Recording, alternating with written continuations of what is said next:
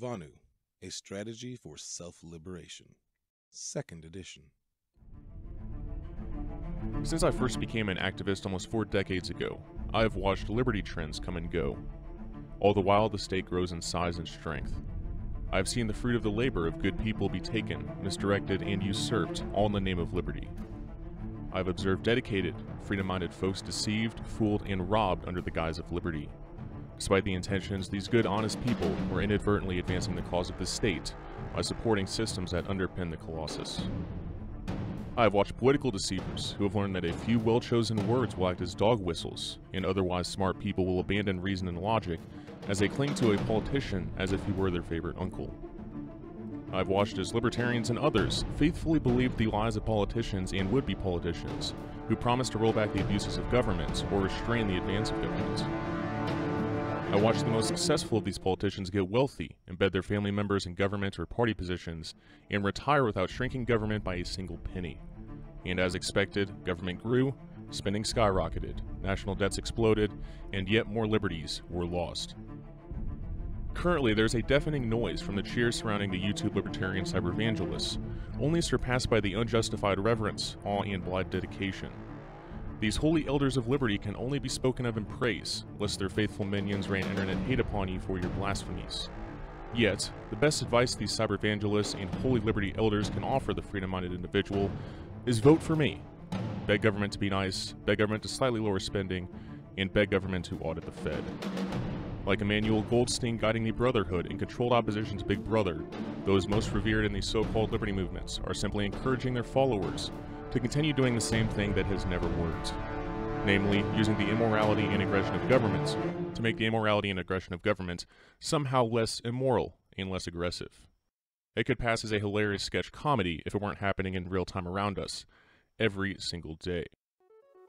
On the other hand, something I've rarely witnessed is the freedom pioneer who is able to sidestep the personality cults, the con artists, and the windbags while sifting through the mountains of liberty publications to find the hidden jewels of truth left by the often forgotten or unsung visionaries who came before us. I'm speaking of that rare individual who can see that doing the same thing generation after generation is not a wise course and will never lead to freedom. I'm speaking of the few today who have made the conscious choice to abandon collectivist solutions abandon faith in a liberty champion, and personally embrace and self-liberation aimed at using the liberties we currently have to become as free as possible as soon as possible. In the process of compiling Vonu strategy for self-liberation, Shane has dug through mountains of out-of-print material and works almost lost to history. He, along with a small group of co-conspirators, have resurrected a genre of the freedom movement that had all but vanished. Shane's timing in delivering this book could not have been better. Without the baggage of the so-called liberty movements, Waves of people are seeking greater freedom by embracing minimalist lifestyles in a variety of ways. From the tiny house movements, festival circuits, van nomadism, and even RV lifestyle, people of every age and income classification are taking direct action in their lives in an attempt to free themselves from the traps of modern consumerism and the chains of the state. People are tired of simply dredging through traffic in a daily commute, only to waste hours of their lives banging at a virtual feed bar in the virtual cage that we call a cubicle.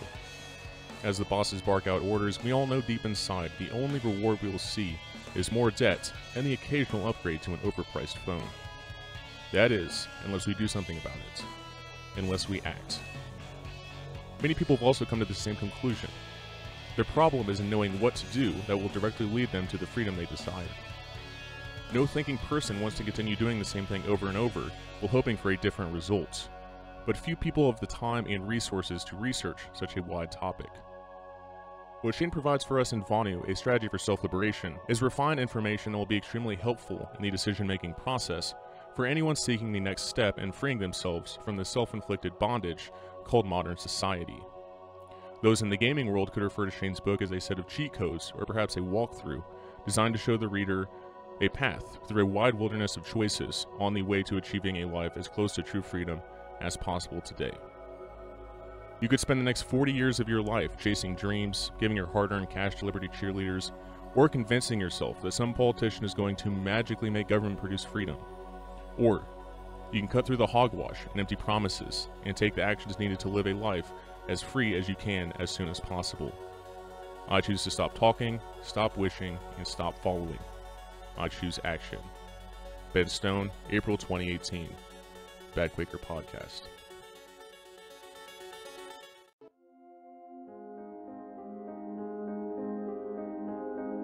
The Path of a Self Liberator. Introduction from Vonu, A Strategy for Self Liberation, 2nd edition by Shane Radliff, coming September 11th. Back in 2018, when I first published the book you're about to read, I could have never imagined the journey I was about to embark upon. At that time, I had just decided to quit my newly acquired electrician apprenticeship job that I really enjoyed, largely on a whim, and uh, moved to Austin, Texas to live with my former Vonu podcast co host, Kyle Rearden. So, in the span of a few weeks, the entire trajectory of my life changed. It wasn't planned or even really consciously driven. Uh, it's almost as if my true will was finally going to start making its appearance, uh, whether me or anyone else liked it or not. After a couple months staying with Kyle in a third story apartment in uh, North Austin, my situation changed again, and uh, even more radically. He informed me that he and his freemate uh, had found a house and were going to move out ahead of the lease expiring, meaning I would have to take over the exorbitantly priced rent plus utilities on my own uh, if I were to stay there. Needless to say, I sought out other options uh, rooms to rent on Craigslist, shared housing, cheap options that I could actually afford uh, in the high priced servile society lifestyle that is Austin. I shared my situation with some friends on social media, and a buddy of mine, Jason Henza, put forth an interesting proposition at the end of the month, he'd be driving through Austin on his way to Acapulco, Mexico, and that I could ride down and stay with him. He was also generous enough to cover some costs for me since I was in a tumultuous situation financially. Of course, my first thought was, hell no, uh, there's no way that's going to happen. But then again, I really didn't have any other options. Uh, and this is exactly the type of adventure I wanted, uh, exactly the type of, of adventure that I needed. I made the minimal preparations that I could and scrounged up as much fiat currency as was available in the meantime. Thankfully, Austin being the mega city it is, uh, it was pretty easy to find a few temporary jobs in the weekends, uh, major events like the uh, Formula One Formula One race, uh, business conferences, uh, etc. In addition to a uh, cheap tent camping spot in Liberty Hill for a few weeks before heading really far south. Leaving some personal non-Vonu experiences aside, we arrived safely in Acapulco, and I got to enjoy a couple months with a somewhat large anarchist community in what truly was a tropical paradise. In terms of bludgies and other state agents, it is undoubtedly better for a Vonuan self-liberator. You're usually just one really cheap bribe away from your freedom, and if you're a gringo, uh, they're even more likely to leave you alone. Uh, it's even a lot easier to acquire legal, authentic Mexican identification too, uh, whether it's a driver's license, registration, etc., uh, enabling prospects for a simplified second identity. But in terms of private coercion, it really is a dangerous place.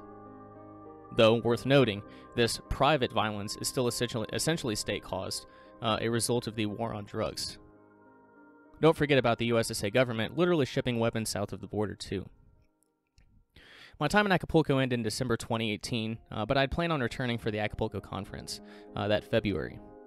About a week after the conference was set to begin, John Galton was killed, and uh, Henza was shot uh, multiple times at John and Lily's house high up on the mountain, a place I spent a lot of time at, and uh, likely would have been at if I was still in Mexico with Henza. I'm extremely thankful Henza and Lily are still here with us to share their powerful stories, and uh, may John rest in peace. He was truly a dedicated freedom pioneer. After John's death, I settled back in on what, what is uh, now my homestead in southern Illinois, uh, working at the family distillery, podcasting, and uh, largely just spending time decompressing alone in the wilderness. Uh, this is what I consider the official start to my liberated lifestyle, a lifestyle where my time is my own and I'm free to follow my passions. I made some critical lifestyle changes, such as quitting alcohol and adopting a new, much healthier way of eating, and uh, gained a whole new take on life. Uh, the brain fog was entirely gone. I felt amazing, and I discovered my newfound front running passion learning about health, the miraculous human body, and investigating health modalities to assist individuals in restoring balance in their bodies, uh, that is, uh, reversing so called disease. But of course, as per the connected nature of this realm, this rabbit hole of health led to the topics of breakthrough free energy, uh, the PAZNIA Department of Health and Wellness, uh, which now has an authentic Rife machine, uh, one of George Wiseman's AquaCure machines, and uh, other amazing supplements and tools. And in September 2020, uh, the Free Republic of PAZNIA was created, a decentralized network of second realms, our own parallel society. My wonderful free wife and I are nearing food self-sufficiency. Our flock currently including a dozen, dozen or so lambs, a few goats, uh, 30 or 40 birds, chickens, ducks, and turkeys, a half dozen rabbits, a few flourishing gardens, and uh, yearly gatherings of liberation uh, for vetted, traveling uh, van nomads and Vonuans. It's been a hell of a handful of years, but I've accomplished the major objective I set out to achieve uh, when I first started digging into solutions way back in 2015. That is, uh, get out of the 9 to 5 rat race jobs that were literally killing me. Of course, I've got much bigger dreams uh, living on a sailboat, the eventual acquisition of a decommissioned aircraft carrier for second realm purposes, a uh, complete Spagyrics alchemy laboratory, etc. But I'm eternally grateful to be where I am and for all those who have played a part. With the recent release of the audiobook, I've decided to release the second edition, uh, with the entirety of the main content remaining the same. I've added this introduction and an additional chapter at the end with more information, since my experiences are so much greater now. Doing it in this manner means that the audiobook can remain as is, and this uh, additional material tacked on later. Big thanks to Phoenix Aurora and Matthew Workman for their efforts on this. I'll leave it there for now, and let the 2018 version of myself walk you through the most liberating freedom strategy I've ever come across. I wish you the best in your pursuit of freedom, and please do reach out if there's any way I can be of service.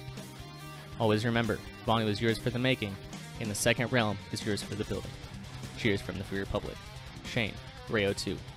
August 2022, the Vonu Podcast. Section 1 The Philosophy of Vonu.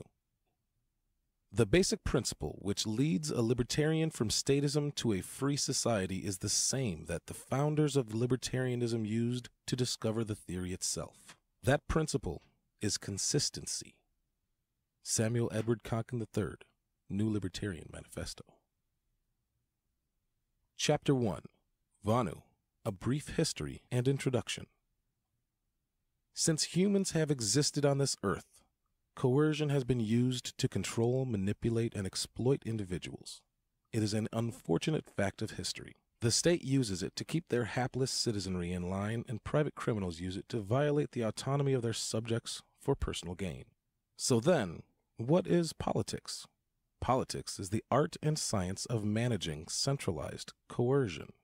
Plain and simple. That being said, it is no surprise that politics is undoubtedly a counterintuitive way to decrease the amount of coercion in your life.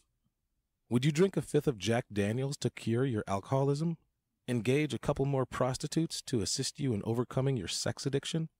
What about making a few trips to Vegas as the means for eradicating that dreaded gambling vice?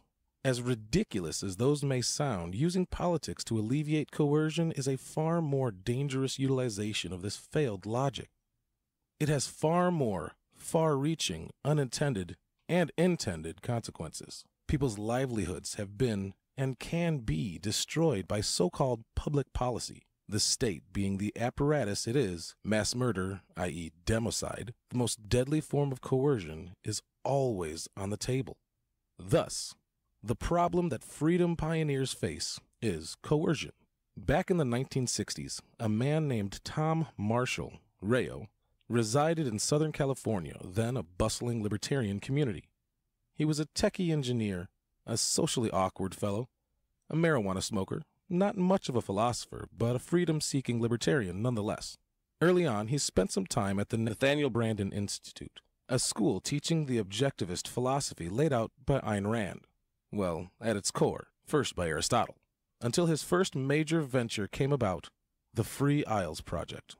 The Free Isles Project spawned out of the Preform Inform zine. The goal was to conduct research in the efficacy of setting up a new libertarian nation and the seemingly endless possibilities for freedom if it were to come into fruition. Rayo said the Free Isle resident would, hypothetically, have all of the advantages of participating in a world commerce while being free from taxes and regulations. Furthermore, a free isle, if it were successful, could be a very effective demonstration of the merits of laissez faire capitalism. Unfortunately, or fortunately, it was never successful. Hell, it never even got past the talking stage. Eventually, the movement subsided after disagreements rose regarding the size and scope of government, the lack of individuals willing to become involved, and the potential ramifications from existing nation states. As an aside, the latter two are still big problems for libertarian country building projects today. Thankfully, most of the newer projects are more anarchistic. But the facilitators are often terrible strategists and tacticians. Generally, they fail to learn from history. Rayo, frustrated with the all talk, no action libertarians of his day, said, Screw it, and moved out of his apartment into a camper mounted on his pickup truck. He became a van nomad and began laying the foundation for the most interesting, plausible freedom strategy today. Naturally, though, freedom means many different things to different people. Freedom, to a propertarian anarchist, means private property, personal autonomy, and peace. Freedom to a leftist means free healthcare, free college, and a massive welfare state. Freedom to a conservative means Christianity. It's not really Christianity, Jesus was most certainly an anarchist. The mass murder known as war and socialist insecurity. Language is quite fluid, which is why Rayo and Roberta, his freemate, proposed a new term, Vonu. Vonu is an awkward contraction of the words voluntary, not vulnerable, and, simply defined, is the condition or quality of, as well as the action of achieving an invulnerability to coercion. So, with one definition, Vonuans avoid the issue of subjective interpretation altogether. You know coercion and violence when you see it. If you make radical lifestyle changes in an attempt to avoid those things, you are a Vonuan, as you are taking steps to become more invulnerable to coercion, regardless of whether the perceived threat is corporations, the state, or a crime ridden hellhole. But early Vonuans also had interesting ways of interpreting liberty and freedom.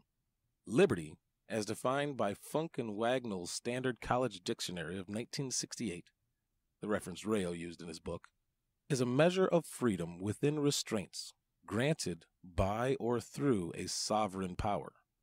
Freedom, as defined by the aforementioned source, is the widest term, suggesting complete absence of restraint. So, Vonuans say that liberty is the general exemption from coercion and freedom is an absence of coercion. To gain liberty, one utilizes legal interstices, or, as it is more vernacularly known, legal loopholes within the law. And you know what the state does to those, right? If they can, they close them. Damn those gun show loopholes and ghost gunners. Major props to Cody Wilson. Rayo specifically had an interesting take on legal interstices. One of his complaints about van nomadism was that it required reliance on slave tags, i.e., driver's licenses, registration, mandatory insurance, and so on. So, in order to hopefully avoid the coercion of the bludgies, you have a license plate on your car. You hand the bludgies your driver's license, and you keep your tags up to date. It's providing a safeguard of sorts, but the terms and conditions may change if they smell marijuana or if the bludgy in question just wanted to beat you for breathing the wrong way. Rayo also had a quite negative stance on utopian fantasies like Ancapistan, a free world, or a communist paradise. Therefore, freedom, the absence of coercion, is a utopian pipe dream. Even if the state disappears, there will be psychopaths, violent murderers, and thieves. Hence, there will always be coercion. He pursued the van nomad lifestyle for quite a while and realized that it wasn't enough for him. He disliked the aforementioned slave tags because if you have to ask and pay off the state for permission, are you really free? So, Rayo decided that the wilderness Vonu life would offer him the most personal satisfaction, and he and Roberta moved into a polyethylene A tent deep in the Siskiyou National Forest. He continued to publish a few Vonu publications Preform, Inform, Innovator, Vonu Life, and wrote for others, such as the Libertarian Connections, the Eleutherian Forum, and Going Mobile, nestled up in his foam hut under his makeshift tent. His frustration with libertarians and the community at large increased, and all he saw around him were controlled schizophrenic political crusaders. See below. He once longed for Vonu associations, i.e., van nomad mobile communities, agoras, but his inclinations to work with others waned like a recent full moon. As I receive more Vonu publications from his time, I hope to find out what really happened. At this time, all I have is suspicion. He began to peruse troglodyte living and practiced building underground structures when he mysteriously ceased communication and disappeared. All that remains is a portion of a letter he wrote to his correspondent, I think John Fisher, the editor of his first book, dated February 14th, 1974. My thinking has undergone major changes in the last several months on interfacing, alternate economics, interrelations in general, I, too, am becoming very dubious as to the value of all libertarian club involvements. We do not intend to use the Libertarian Club in the future as an avenue for gaining non anonymous friends or associates. But the strategy he and other freedom seekers pioneered is still just as efficacious as it was before, and even more so thanks to advancements in technology. So, how does Vonu differ from direct action more generally, such as methods listed on the freedom umbrella of direct action, FUDA? Well, with many of the strategies on the FUDA, you can more or less continue living the same lifestyle you did before, i.e., a 9 to 5 job in the servile society, paying some taxes, etc and receive some increases in your personal freedom. Vonu, on the other hand, is a lifestyle change. It is a reorganization of your entire life. But the increase in personal freedom is quite substantial, and that's putting it mildly. Examples of these Vonu lifestyles include van nomadism and wilderness Vonu, both strategies Rayo and Roberta utilized. Minimalist sailboating, intentional communities, mobile or stationary, Vonuing in cities, perpetual traveling, and utilizing ethical enclaves. I'll discuss all of these in substantial depth below, but first, let's take a look at the few honorable mentions of Vonu by other libertarians. Chapter 2 Rayo's Influence on the Libertarian Anarchist Community. As should be evident, Rayo's work was basically forgotten until Kyle Rearden and I launched the Vonu podcast in January of 2017. But Rayo likely influenced a significant popular strategy within anarchist circles agorism. In Innovator, November 1965, Rayo wrote an article titled Self Seeking Ethical Enclave Black Markets.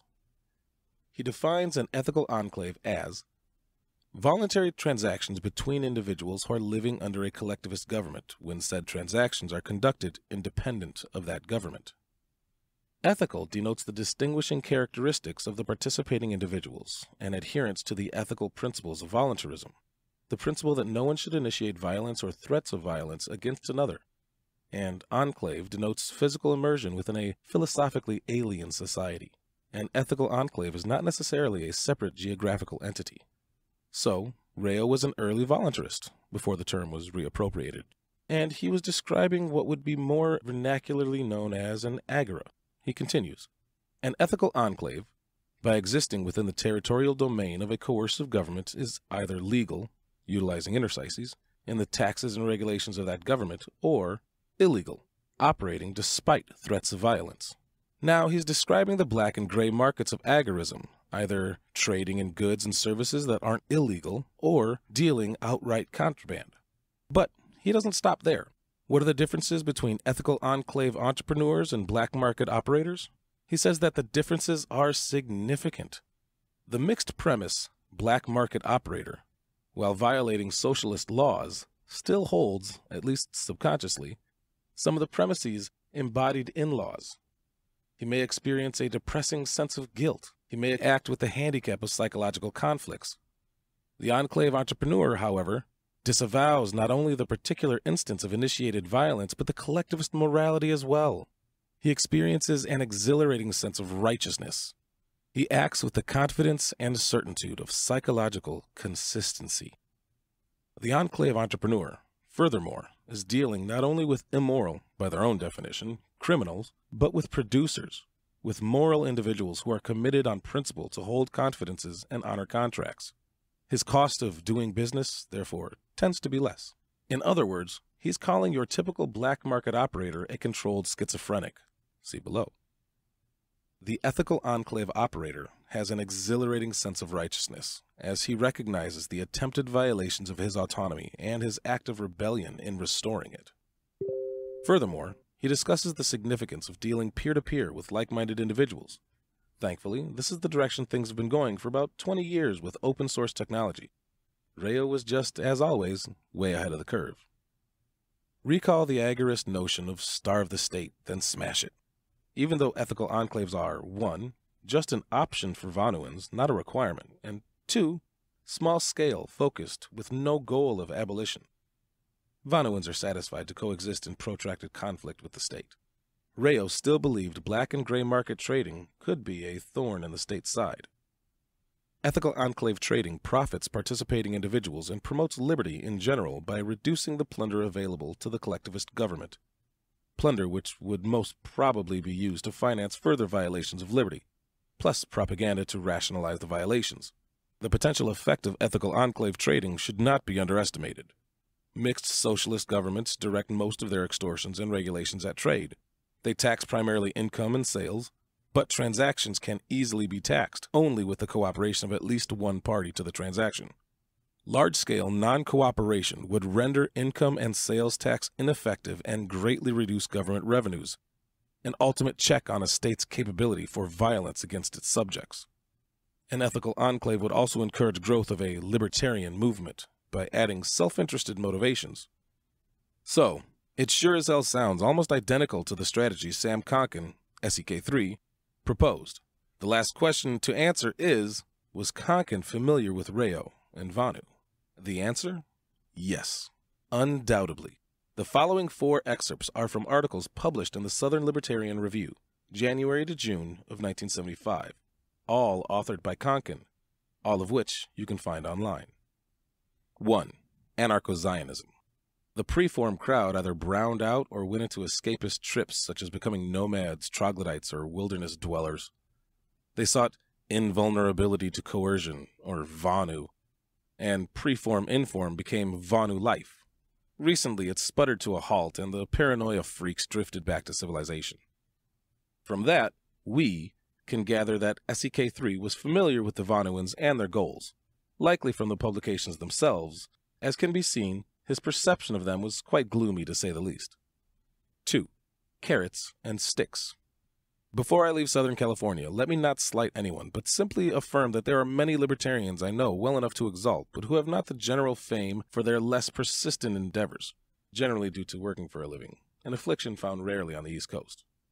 And there are others of fame that do not enjoy my personal knowledge, such as Joe Galambos, Natalie Hall, and Sky de Oros, El Rayo and Naomi Gatherer, and Lou Rollins, whose good and worthy efforts will someday earn them a more adept chronicler. So, he's highlighting the achievements of various individuals, two of them being Rayo and Naomi Gatherer, aka Roberta, Dr. Gatherer, his freemate. Additionally, our conception of Rayo during the 1960s and 70s is that he was not very well known. It seems like he was part of an extremely niche crowd, and if he enjoyed fame, it was not by the popular definition. That being said, the way Konkin phrases that last portion is interesting. Is it possible that Rayo was more popular than we originally assumed? Were or are there more Vonuans than we initially figured? Possibly. 3. Libertarian Strategy 1.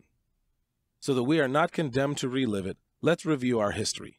As of December 1968, libertarian strategy was directed either towards influence of the conservatives or conversion of the independents. It was wholly educational or retreatist. Robert LeFevre's Rampart College, Leonard Read's FEE, Joe Galambo's FEI, Nathaniel Branden's NBI, F.A. Harper's IHS, and Frank Chodorov's ISI were all educational institutes. The Vonu Lifers, Atlantis Group, and Oliverites were seeking escape. Except for the liberal innovators' leafleting of the Cow Palace in 1964, no libertarians were involved in the political campaign except as deviationist individuals. Many supported Nixon in 68, but they were clearly of conservative leanings.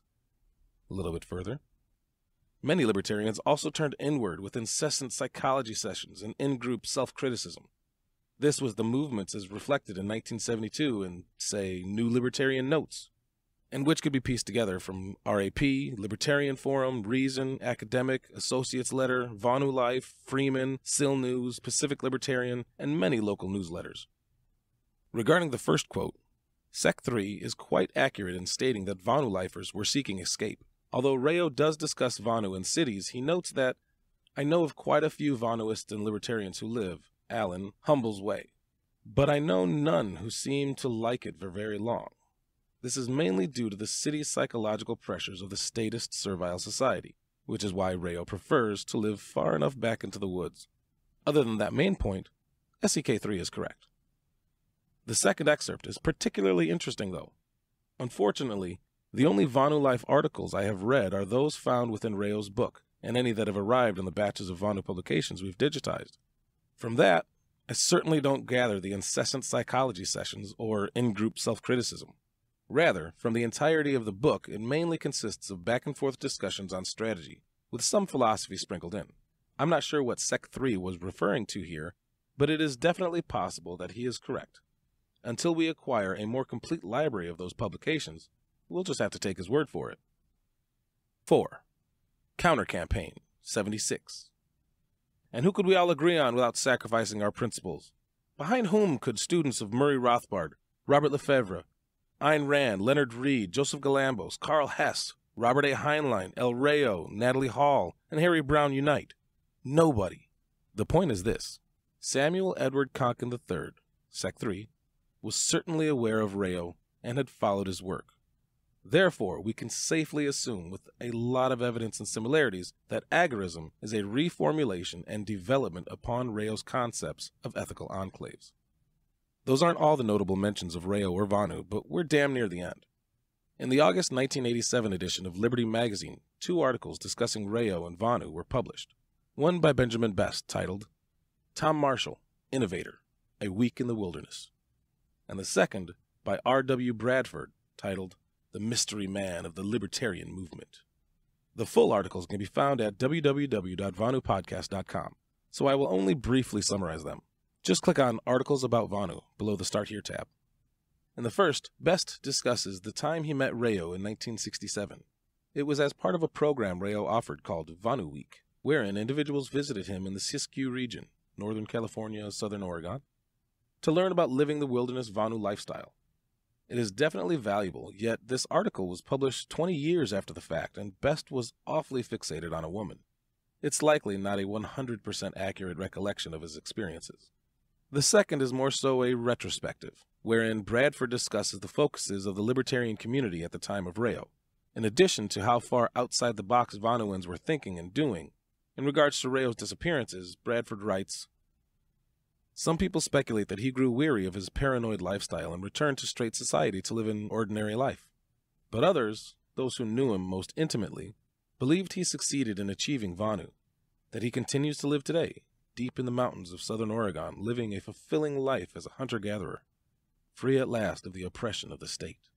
Knowing Rayo as intimately as I feel I do, there's no way in hell he could have just given up and returned to the servile society.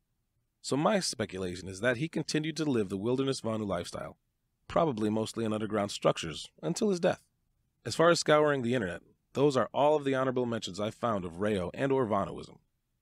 It's worth noting that in Jim Stumm's publications, i.e., Self Liberation Notes, Ocean Freedom Notes, Going Mobile, there are many letters discussing Rayo and or Vonu, but those all took place from the 1970s to the 1990s. You can download all of them for free by visiting vonupodcast.com. In conclusion, he certainly had a drastic impact on the libertarian community, even though the majority of the adherents have never heard his name.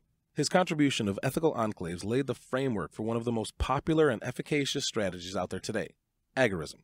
For the most radical libertarians of his day, he provided them with solutions in pursuance of personal freedom. When most of the libertarians around him were only interested in talking, man, things don't change much, huh? His work lay dormant for some 20 plus years, but it's back now, and with a vengeance. You, the reader, or listener, are a modern self liberator. Chapter 3 The Why to Vonu. There are still some more preliminary concepts, ideas, and definitions that need to be covered before getting into the action of Vonu. Political crusading, controlled schizophrenia, collective movementism, import export, and meantime to harassment. We'll cover the more philosophical ones first, and then move on to the couple that interact directly with the action side. As should be clear by now, Rayo and other Vonuans were, and are, actually serious about personal freedom and an invulnerability to coercion, which automatically rules out political crusading, a bullshit strategy for bullshit libertarians. Politics, in fact, makes you more vulnerable to coercion, i.e., you are participating in their privacy unfriendly system. Rayo had this to say The political crusader who wants to take over or destroy a state seriously threatens the rulers and will bring strong countermeasures. But the libertarian who is satisfied to coexist in protracted conflict with the state is merely an annoyance. The more astute ruler is aware, as is the libertarian, that most people are sheep and will remain sheep no matter how the libertarian lives. Of course, the statist would still rather squash the libertarian if it were easy. So, libertarian tactics must be such as to make counter counterattacks ineffective and prohibitively costly. Political crusading is also contradictory, speaking in terms of anarchists, or freedom pioneers more generally, consistently living the principles they espouse. Means determine ends, and function determines form.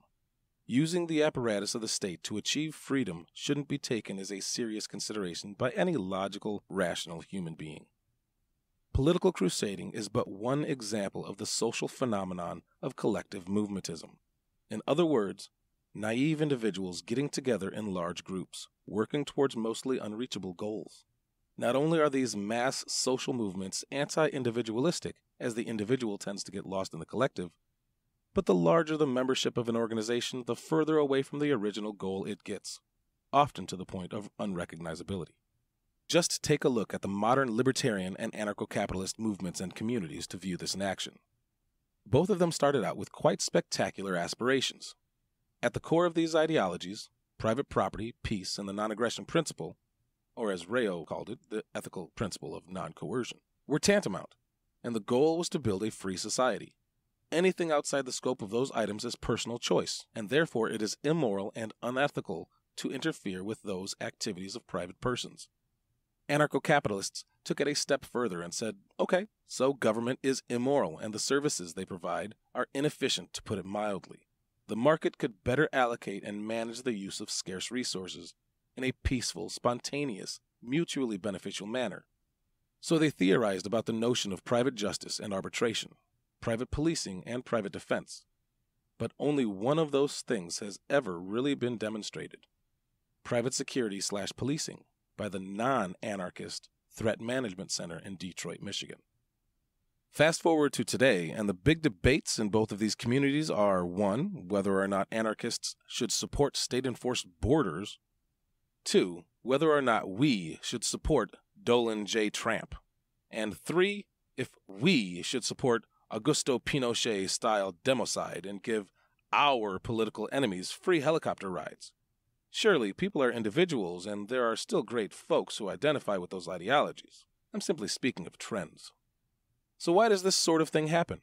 How can people go from relatively decent, peaceful human beings to state worshipping, contradictory fools? Rayo had a term for this phenomenon controlled schizophrenia. He only mentions that term explicitly once. I will add the preceding paragraph for context. If satisfaction could be plotted with respect to freedom for a large number of people, I think the graph would have a low peak of relative satisfaction around 5 to 10% freedom, a higher peak around 90 to 95% freedom, and a wide depression in between. The lower maximum is exemplified in contemporary society by many a successful middle American. He lives conventionally but takes advantage of some of the easier, more obvious loopholes. He pays income taxes, but hires a tax accountant to minimize deductions. He registers for the draft, but goes to college in hopes of being made a technician instead of a target. His mental state is one of controlled schizophrenia. He believes most of the statist myths in which he was indoctrinated, yet maintains a modicum of skepticism.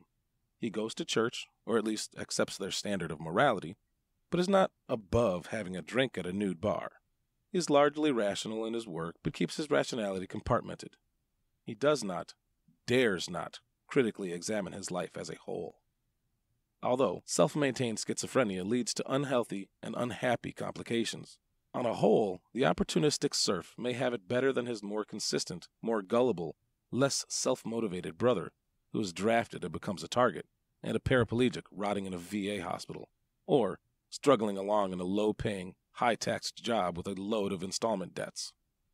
Other examples of controlled schizophrenics include anarchist politicians, libertarians, or anarchists for Dolan J. Tramp, anarcho secessionists, state nullification advocates, and political crusaders, generally speaking. All of these folks failed to exercise the collectivist spooks from their heads and ended up backsliding into servile society games, if they ever gave them up at all. So a sort of formula can be put together. Political crusading plus controlled schizophrenia plus coercive movementism equals your statist servile society. The statist servile society is the main enemy of the Vonuan, the items on the left side of the equation being elements thereof. So Vonuans pursue radical lifestyle changes to become more invulnerable to the coercion of the controlled schizophrenics at large. But how does one gauge whether or not their current lifestyle makes them more invulnerable to coercion, and to what degree? Well, right at the outset, Rayo formulated the idea of mean time to harassment, which he defined as the strength of Vonu, usually expressed in years. MTH is typically used to gauge the profitable viability of concealing a Vonuum, the place or situation of an invulnerability to coercion, relative to one's competency at Vonumi, the art of achieving an invulnerability to coercion. He includes the following visual aid.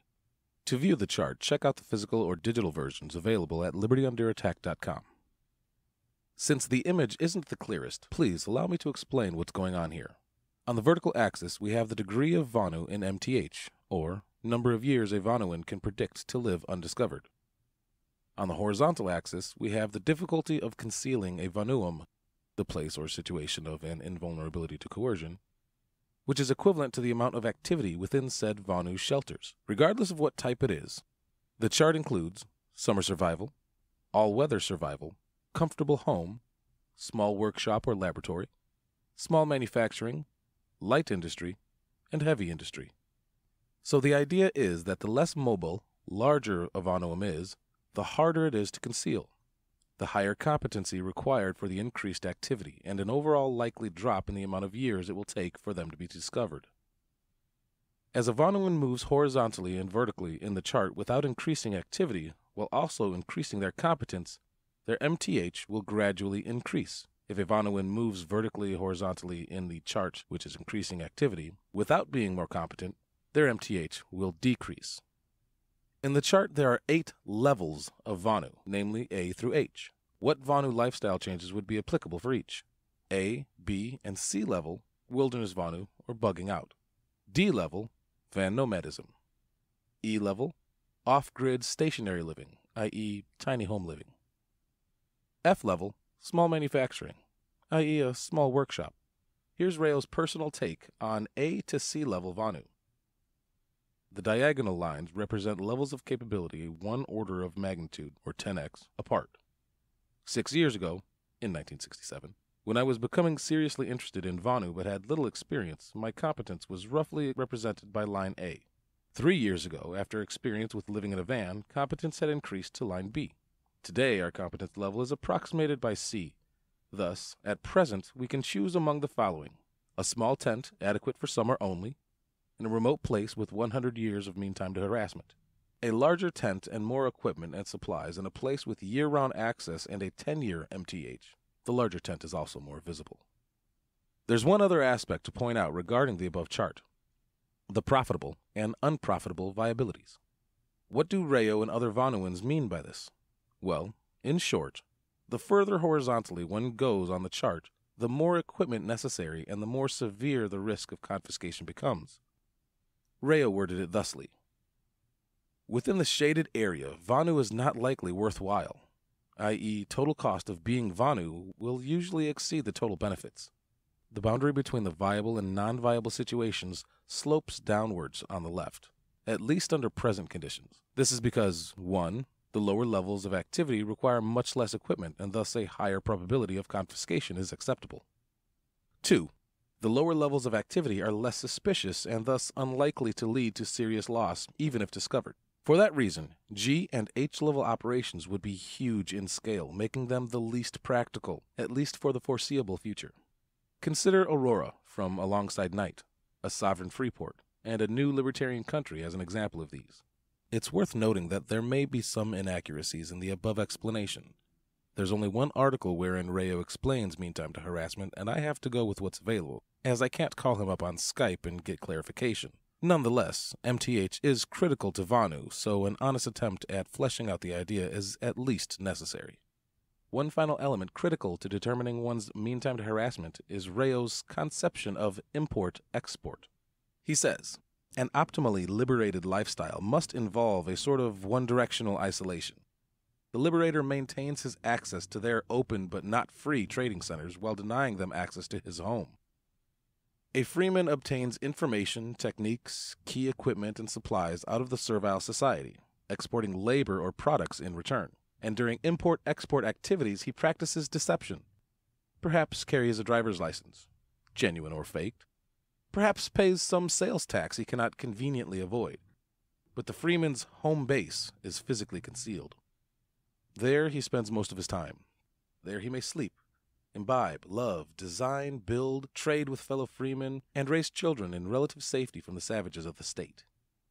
A freeman's home must be a figurative castle. At one time, Rayo had hopes that a Vonu association or a Vonu mini culture would come into fruition, which would eventually develop into an alternative economy. Unfortunately, that still does not exist today. Sans deep web marketplaces in limited context, which necessitates interaction with the statist servile society, at least to a certain extent. Modern Vonuans can only be so self sufficient, one may have a permaculture farm which produces 100% of the food necessary, a fresh water source allowing him to bypass the need for city water, and he may even utilize alternative energy sources allowing him to go off grid. But what if one of the solar panels breaks and needs to be replaced? I suppose it's possible for him to learn the ins and outs of how solar panels work, the components involved, and how to construct it from the ground up. But that doesn't sound like an efficient use of time when he could spend a couple hundred bucks and get one delivered to his house. And even if this Vonuan in question is able to achieve that, what if the tractor he uses for his farm needs a new engine? If his freemate needs a crown on one of her teeth? Maybe his son needs diabetes supplies. Rayo himself utilized import export. He purchased bulk, storable foods, replacement glass for the windshield of his van, the polyethylene for his tent, and marijuana for his own personal use, the latter being less important considering his residence adjacent to the Emerald Triangle. The point is, there's nothing wrong with utilizing the statist servile society's open but not free trading centers, as long as the aforementioned one directional isolationism is in place.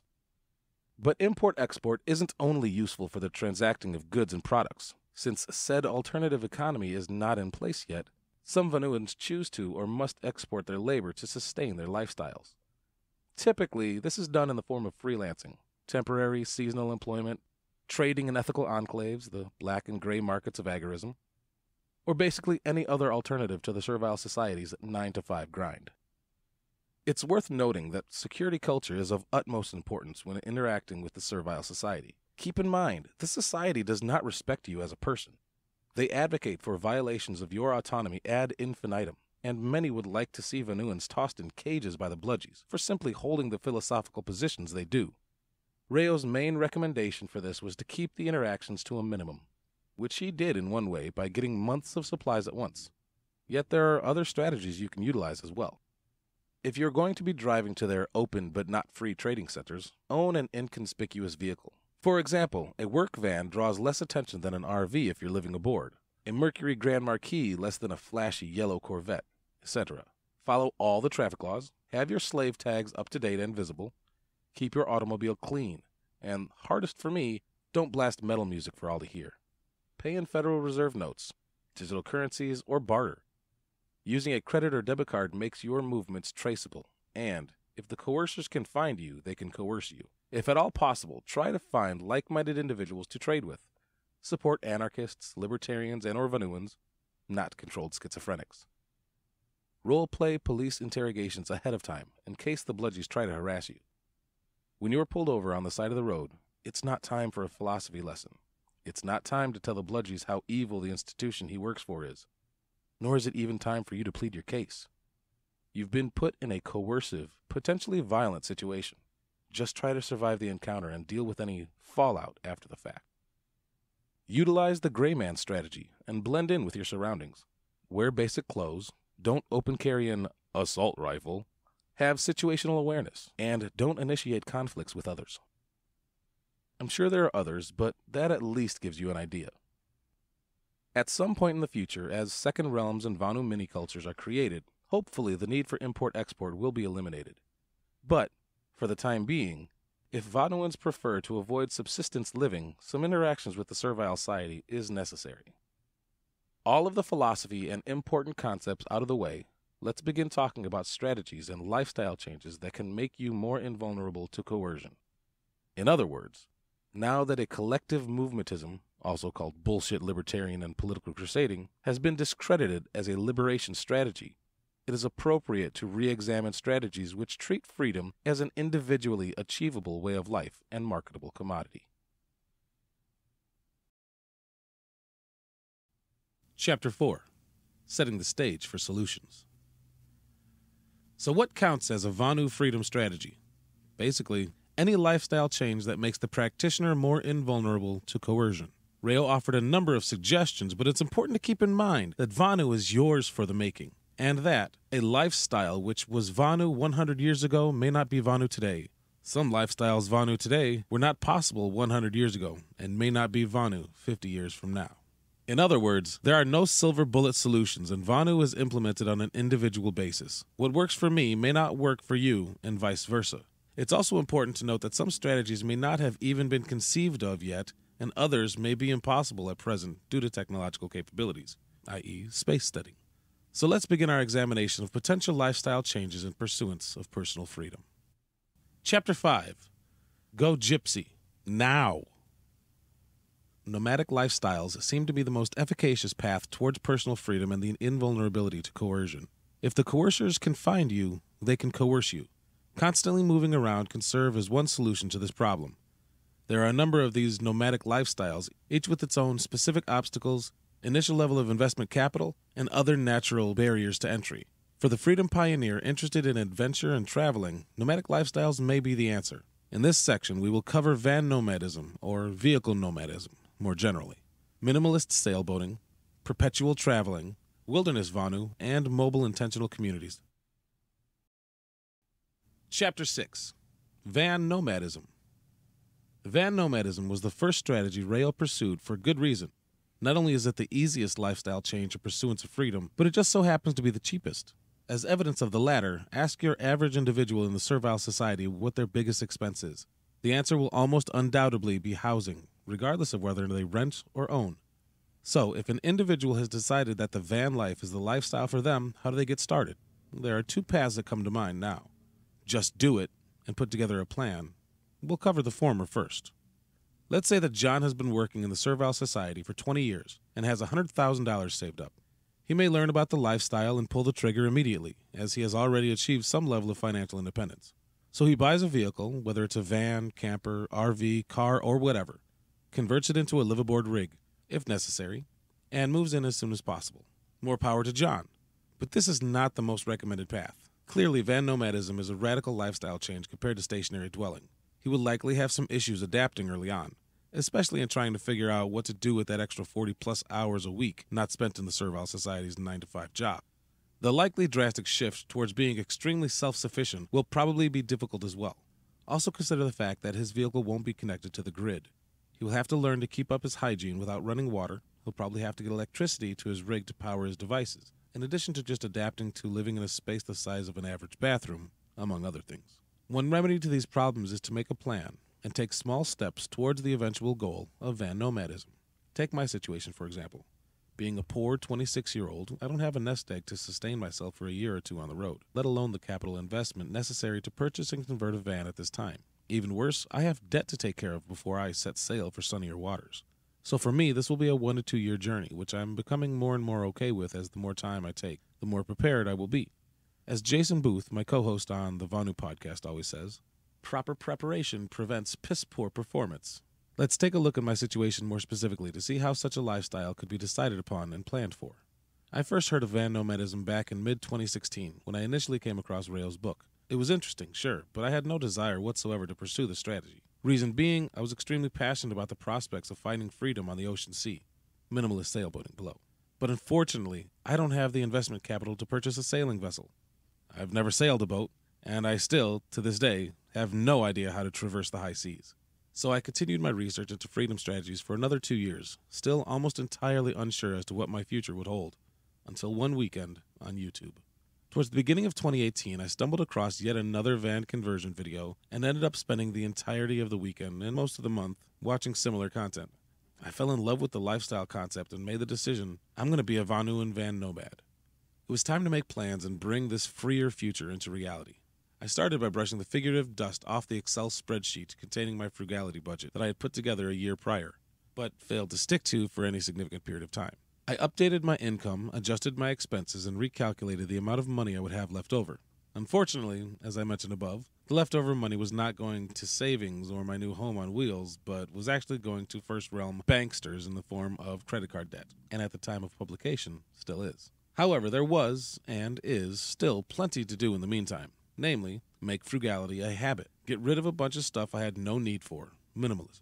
Adjust my diet to what I envisioned it being on the road, i.e., little fast food, no microwavable meals, less meat, as it's an expensive source of protein. Conduct market research on vans and take some for test drives to figure out what feels best to me. Ponder or plan the van conversion itself. Research the best, most affordable, easiest to configure off grid energy setup. Build up my financing portfolio. Generate a handful of passive income streams, this book being one of them, and probably even a few other things, but you get the point. Even if you aren't ready to live your chosen Vonu lifestyle now, there are always things you can do to prepare for it. The above list are all things that I'm currently doing. I'm still paying off the aforementioned debt, although I'm so close. Once that account is closed, the fun truly begins. Let's talk about those next steps and considerations. Purchasing a vehicle for living aboard, the conversion itself, making money on the road, potential legal interstices to exploit, and the modern van nomad community. Chapter 6, Part 2 Choosing a vehicle for living aboard. This is a crucially important step, but that goes without saying. Not only are you purchasing a vehicle, but you're purchasing your mobile home on wheels. The vehicle you choose could very well make or break this lifestyle. It could take you on the most incredible adventures and provide you with a significant increase in freedom, or it could lead you down a road of misery. Recall the saying proper preparation prevents piss poor performance. What sort of considerations should be taken into account? First and foremost, space. How much room do you need to live relatively comfortable with most, if not all, of your belongings? If you'll be vonuing with others, how much more additional space will be necessary? In other words, would upgrading from a Chevy Astro to a Mercedes Benz Sprinter van, a super common choice, be enough, or are you now in the realm of campers, RVs, or schoolies?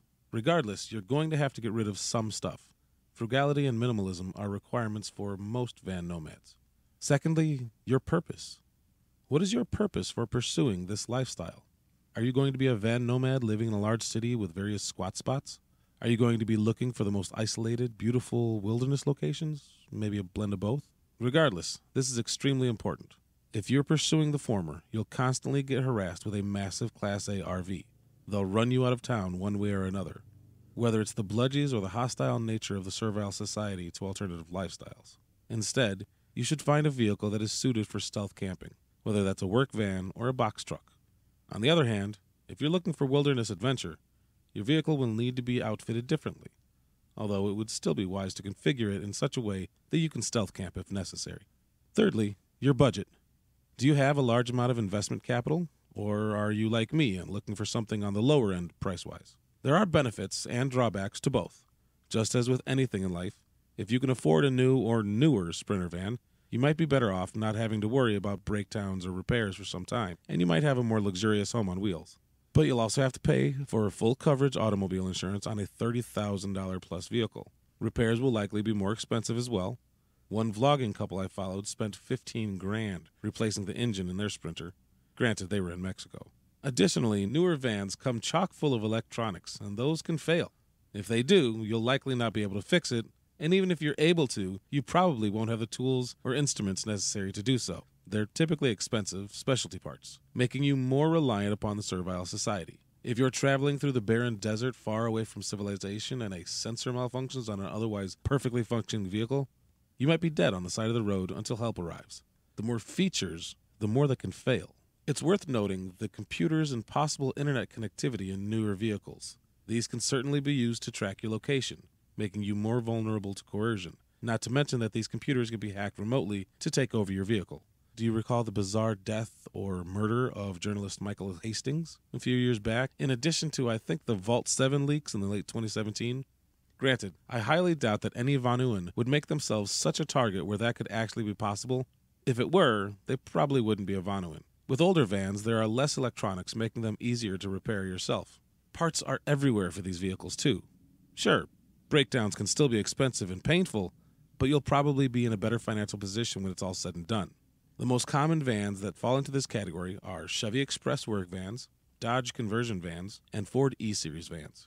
Fourthly, fuel. Diesel engines typically get more miles per gallon when compared to unleaded engines of the same size, but they can be more difficult for the average individual to work on, depending on the vehicle in question. Do some market research of your own and discover what will work best for you in your situation and applicable expertise. Lastly, two wheel drive or four wheel drive. In my search for vans so far, this has not been a major focus. Reason being, a two wheel drive van could get me mostly anywhere I want to go. And if I were to ever get stuck on the beach or something, I'd have the tools on hand to get myself out. Oh, the things you learn from van nomads on YouTube. That, and from what I know, 4x4 vehicles are far more expensive. At this juncture, it's not a necessity or a preference for me, but it might be for you. Fantastic. Enjoy those paths further off the beaten trail. It's also worth mentioning two other possible vehicle choices a standard car or minivan. Believe it or not, there are quite a few van nomads living out of these super small spaces, some out of necessity, some out of choice. If you don't need much, maybe you just decide to hit the road in your Ford F 150 with a topper, like one of my Patreons does. But maybe you toss a mattress in the back of your Honda Odyssey and see where the road takes you. To close out this section, let's get into a little philosophy. Most everyone has heard of the quote by Benjamin Franklin regarding trading liberty for security. Similarly, there is a trade off between freedom and comfort. Stationary dwellings are quite comfortable. You have air conditioning in the summer, heat in the winter, hot showers twice a day, a flushing toilet, and all of the electricity you could ever use, and more. But you are inherently not free, as all of the comforts you enjoy are provided by someone else. Rayo and Roberta were a living example of this trade off, only their choice was on the other end of the spectrum. Wilderness Vonuing in the Siskiyou was quite miserable at times, and they said as much, but they were free both in the physical sense and also according to their mean time to harassment. Clearly, most individuals would not be interested in wilderness Vonu, me included. So the idea is to strike a balance between freedom and comfort, and thanks to technological advancements, it's quite easy to do nowadays. As an example, in my van, I'll have a sink powered by a pump, enough solar power to run all of my devices, internet access via a mobile hotspot, and free Wi Fi whenever it's available, and some sort of shower system, probably a solar shower. Sure, they may not be as convenient as in my stationary dwelling, but I choose to sacrifice those comforts in pursuance of freedom. All of that said, this freedom versus comfort dichotomy certainly comes into play when choosing your vehicle for living aboard. A two or four wheel drive van can go a lot more places than a long, slow, and clumsy Class A RV. Choosing one of these larger vehicles will limit your freedom of access to many of the most beautiful, isolated places. But maybe that's okay for you. A few considerations to leave you with if you're going to be buying an older van, make sure to check the undercarriage for rust. Look out for water leaks, as they can lead to mold. The holes can be fixed and the mold removed, but it can be a major pain. If you're buying a used vehicle, it might be wise to take it to a trusted mechanic before purchasing. If you're planning on gutting the back of the van for a conversion, don't pay too much attention to stains on the carpet, torn upholstery, stuff like that. These vans, campers, and RVs are everywhere. For the latter two, the best time to buy, I think, is in winter after people return from their summertime escapist rituals and put themselves away in their boxes for another year. Now, you're ready to purchase your mobile home on wheels. Chapter 6, Part 3 The Conversion. You've purchased your mobile home on wheels. Congratulations. What's next? Well, converting it to a liveaboard rig. This is the part in the process where you will plan, design, and build out your new abode. It's also the part I'm most looking forward to, in all honesty. If you decide to go the RV or camper route, this might not be as relevant to you, but there will likely be some modifications since you will be living aboard full time, or close to it, rather than just using it for weekend getaways. Therefore, the following information should still be valuable. This is the part where YouTube will be your best friend. Reason being, many van nomads upload videos chronicling every step of the conversion. I'd also point you in the direction of the old Vonu publication Going Mobile. See additional resources below. Most of this zine is dedicated to letters from van nomads back in the 1960s to the 80s discussing their rig, living situations, obstacles, etc. But there are also diagrams, pictures, and tutorials on the conversions themselves. For most, the conversion process consists of eight steps gutting the future living space, performing a deep clean of the entire vehicle, patching any holes or leaks, getting rid of any rust, dealing with any mold, etc., running the wires for electricity, installing the roof fans and vents, insulating the van, both the floor and the walls, sometimes the roof, laying down the flooring and putting up the walls, and then the rest of the build out, i.e., whatever you decide upon. Obviously, this process may vary depending on the individual and the situation, but these are the main steps. Important notes Make sure to run the wires for your electricity before installing the insulation and the walls. Also, don't half ass your electrical setup, do it right the first time. Pay an experienced electrician to help you, if need be. It's cheaper and less painful than your mobile home going up in flames from some silly avoidable mistake. What are some other considerations to take into account? Well, what are your needs? This is the most important question and will determine the complexity or simplicity of the process. If you've never lived out of a vehicle before, you probably won't know the full answer to this question. Therefore, it's recommended that you take practice runs before moving aboard. This way, you can determine whether or not this lifestyle is for you, in addition to discovering what you truly, really need. Some individuals go with bare bones conversions. For example, John may decide to toss a mattress in the back of his minivan, grab some gallon jugs of water, some food, and a camp stove, and hit the road. Others, like Carl and Jahala, a Vonuan van nomad couple traveling Australia, go all out with their conversion.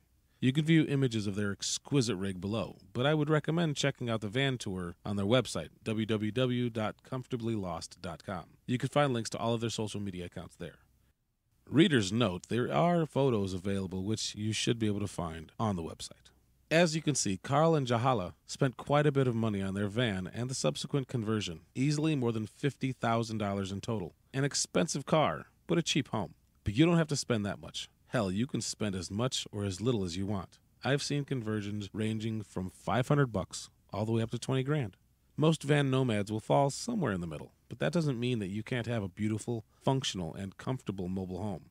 Here are some features you'll undoubtedly add during your conversion a bed, a kitchen area, possibly a cooking stove and a sink. Be sure to vent this outside to avoid carbon monoxide poisoning. Storage, lots and lots of easily accessible storage space a way to dispose of human waste, some sort of system to keep up on hygiene, i.e., a shower or wet wipes to hold you over until you next visit to Planet Fitness, roof vent, an electricity source, gas generators, solar power, wind power, etc., blackout curtains for privacy if you have windows, locks inside and out for safety and privacy. Here are some other important considerations to take into account. Make sure everything is secured in the vehicle. The big heavy things, most importantly. You don't want your belongings launching across your vehicle in transit. And, God forbid, if you were to get into a high speed accident, you don't want those things to turn into projectiles. Use lightweight materials when converting your vehicle and keep track of all the weight that you'll be adding to it. Try your best to keep it under the maximum recommended weight. Reason being, overloading your vehicle will impact the handling, braking, gas mileage, etc. Don't let the perfect become the enemy of the good, though. Keep in mind, pursuing Vonu is a lifelong endeavor. As you gain more experience and become more competent, you will always find ways to improve upon your Vonu home base. Hence, why many YouTube van nomads have multiple conversion series on their channel. I could go into a lot more depth, but considering the communication format of this medium, I'll stop here and turn you over to the modern van nomad community on YouTube. They're seriously a helpful bunch. Chapter 6, Part 4 Making Money on the Road. Most individuals pursuing van nomadism will be leaving their full time job in the servile society. Some will have enough savings to live for many years, and others will have to find ways to make money on the road.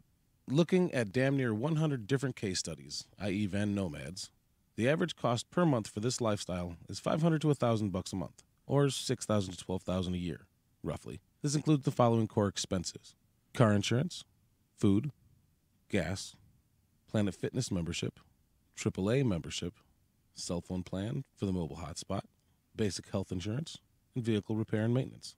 There will likely be additional expenses, but those will be determined on an individual basis. For example, I need to factor in diabetes supplies, test strips, insulin, vape juice for my vape pen, and medical cannabis, as I will be first venturing out to Colorado in an attempt to cure or at least treat this dreaded autoimmune disease. Some may fear the unknown. How will I make enough money to survive on the road? Now that you know the average cost of this lifestyle, I hope that fear has been quelled, at least to a certain extent. It's not difficult to make $1,000 a month, the higher end, if you're willing to work. So, what are some ways to generate that income? First off, I mentioned above, many Vonuans utilize temporary and seasonal employment. When I venture to Colorado, I plan on taking temporary jobs at ski resorts. Free lift passes, anyone? But it's not limited to that, of course. This is a terrific option for Vonuans. Please, allow me to explain below.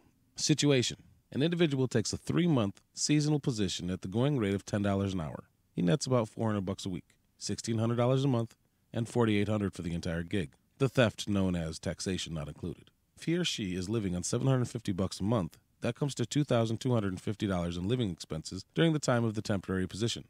That leaves the individual in question with $2,550 in savings, or three months of the van nomad lifestyle when it's all said and done. So, hypothetically, a van nomad could take two three month long seasonal jobs a year and live comfortably, while having the other half of the year open for adventure. That sounds like a sweet life, right? It puts the two weeks of vacation servile society benefit to shame. But there are other avenues available to van nomads, like creating self liberational media. Believe it or not, van nomadism is kind of trending. You could leverage that to make some additional income by starting a YouTube channel, a website, blog. You could write a book and sell it, whatever. One cautionary tale YouTube has been known to shut down and demonetize channels for no reason at all. Get while the getting's good, as the saying goes, but do not rely upon it. The smart Vonuans will never rely upon one single source of income, anyways. Digital nomadism, more generally, is probably the more popular way van nomads make money on the road. This typically consists of freelancing or an entrepreneurial business of some sort. Do you have any marketable skills that you could leverage? Think graphic design, website design, coding and development, online marketing, or a consulting biz. These are in demand, and businesses and corporations often hire freelancers at higher rates. It's a lot cheaper than hiring formal employees. There are three other potential options I learned about from other van nomads. Apparently, individuals have had some success with posting gigs wanted ads on Craigslist and Facebook, option one and two. If you're rolling into town and need to make some quick cash, you might try that. I've heard the money isn't always great and it can sometimes turn into tedious odd jobs, but regardless, it's an option if you're in the crunch. The third option is actually quite incredible for van nomads delivery or driving services like Uber, Uber Eats, Postmates, etc. If you're ever in a crunch and need to make some money, find a larger city and do some delivering. As long as you have a smartphone, you're almost always in position to make money, and that's huge. Quitting your job in the servile society can surely be daunting. It can put your life in question and cause lots of stress, but it doesn't need to. The van nomad life is quite cheap, and there are seemingly endless ways to make money on the road. The only limitations are your creativity and imagination. Chapter 6, Part 5 Jurisdictional arbitrage, legal interstices, and tricks for van nomads. Jurisdictional arbitrage is defined as the practice of taking advantage of discrepancies between competing legal jurisdictions. This is generally practiced between countries and nation states, but it can be applied here in so called America as well. Similarly, legal interstices are defined as gray areas within the law that can be used to violate the spirit of the law while simultaneously keeping to the letter of the law. Take my last place of residency, the communist state of Illinois. This hellhole is most well known for being home to the former crime capital of the world, crippling business regulations, a higher price to pay for anything you want to do, and a mass exodus of citizens into other legal jurisdictions. So, what sort of jurisdictional arbitrage methods and interstices are available to me and other van nomads? A legal mailing address, vehicle registration, and residency. The state of South Dakota must seriously be hurting for revenue. In most states, the process for these things is difficult, expensive, time consuming, and there are always hurdles to jump through. Thankfully, South Dakota wants your money so bad they will jump through the hurdles for you, making it easy to become or remain legally compliant. The first item to discuss is the legal mailing address, as this is a requirement for all of the others. One of the logistical issues with a nomadic lifestyle is mail forwarding. You might not always know where you're going to be, how long you're going to be there, and if what's being delivered can be earmarked for general delivery. Enter yourbestaddress.com. For $189 a year, you can set up custom shipping schedules. For example, if you're going to be in Denver, Colorado for a few weeks, working a short term gig, you simply put in a request to have your mail forwarded there. There are other features, such as $1 handling fees per shipment, the lowest out there, free junk mail sorting, email notification for outgoing mail, no hidden postage fees, and even a couple other, more minor ones. Better yet, this isn't a mere post office box. This is a legal, physical mailing address, and the first step for the other interstices that this website offers. Next is vehicle registration. Here in Illinois, it costs $128 for me to register my 1998 Mercury Grand Marquis yearly. In South Dakota, it's 45, And you can mail in the necessary forms using the address you signed up with before. You don't even have to physically go to the state. Here's the process application for motor vehicle and registration, an original title or manufacturer's statement of origin, if new, properly transferred to the applicant, a bill of sale, sales contract, or other purchase order, vehicle weight, empty, of course a copy of your current driver's license, and the current odometer reading. Obviously, the bureaucratic bullshit sucks, but it's something you'll have to deal with regardless. That's not all, though.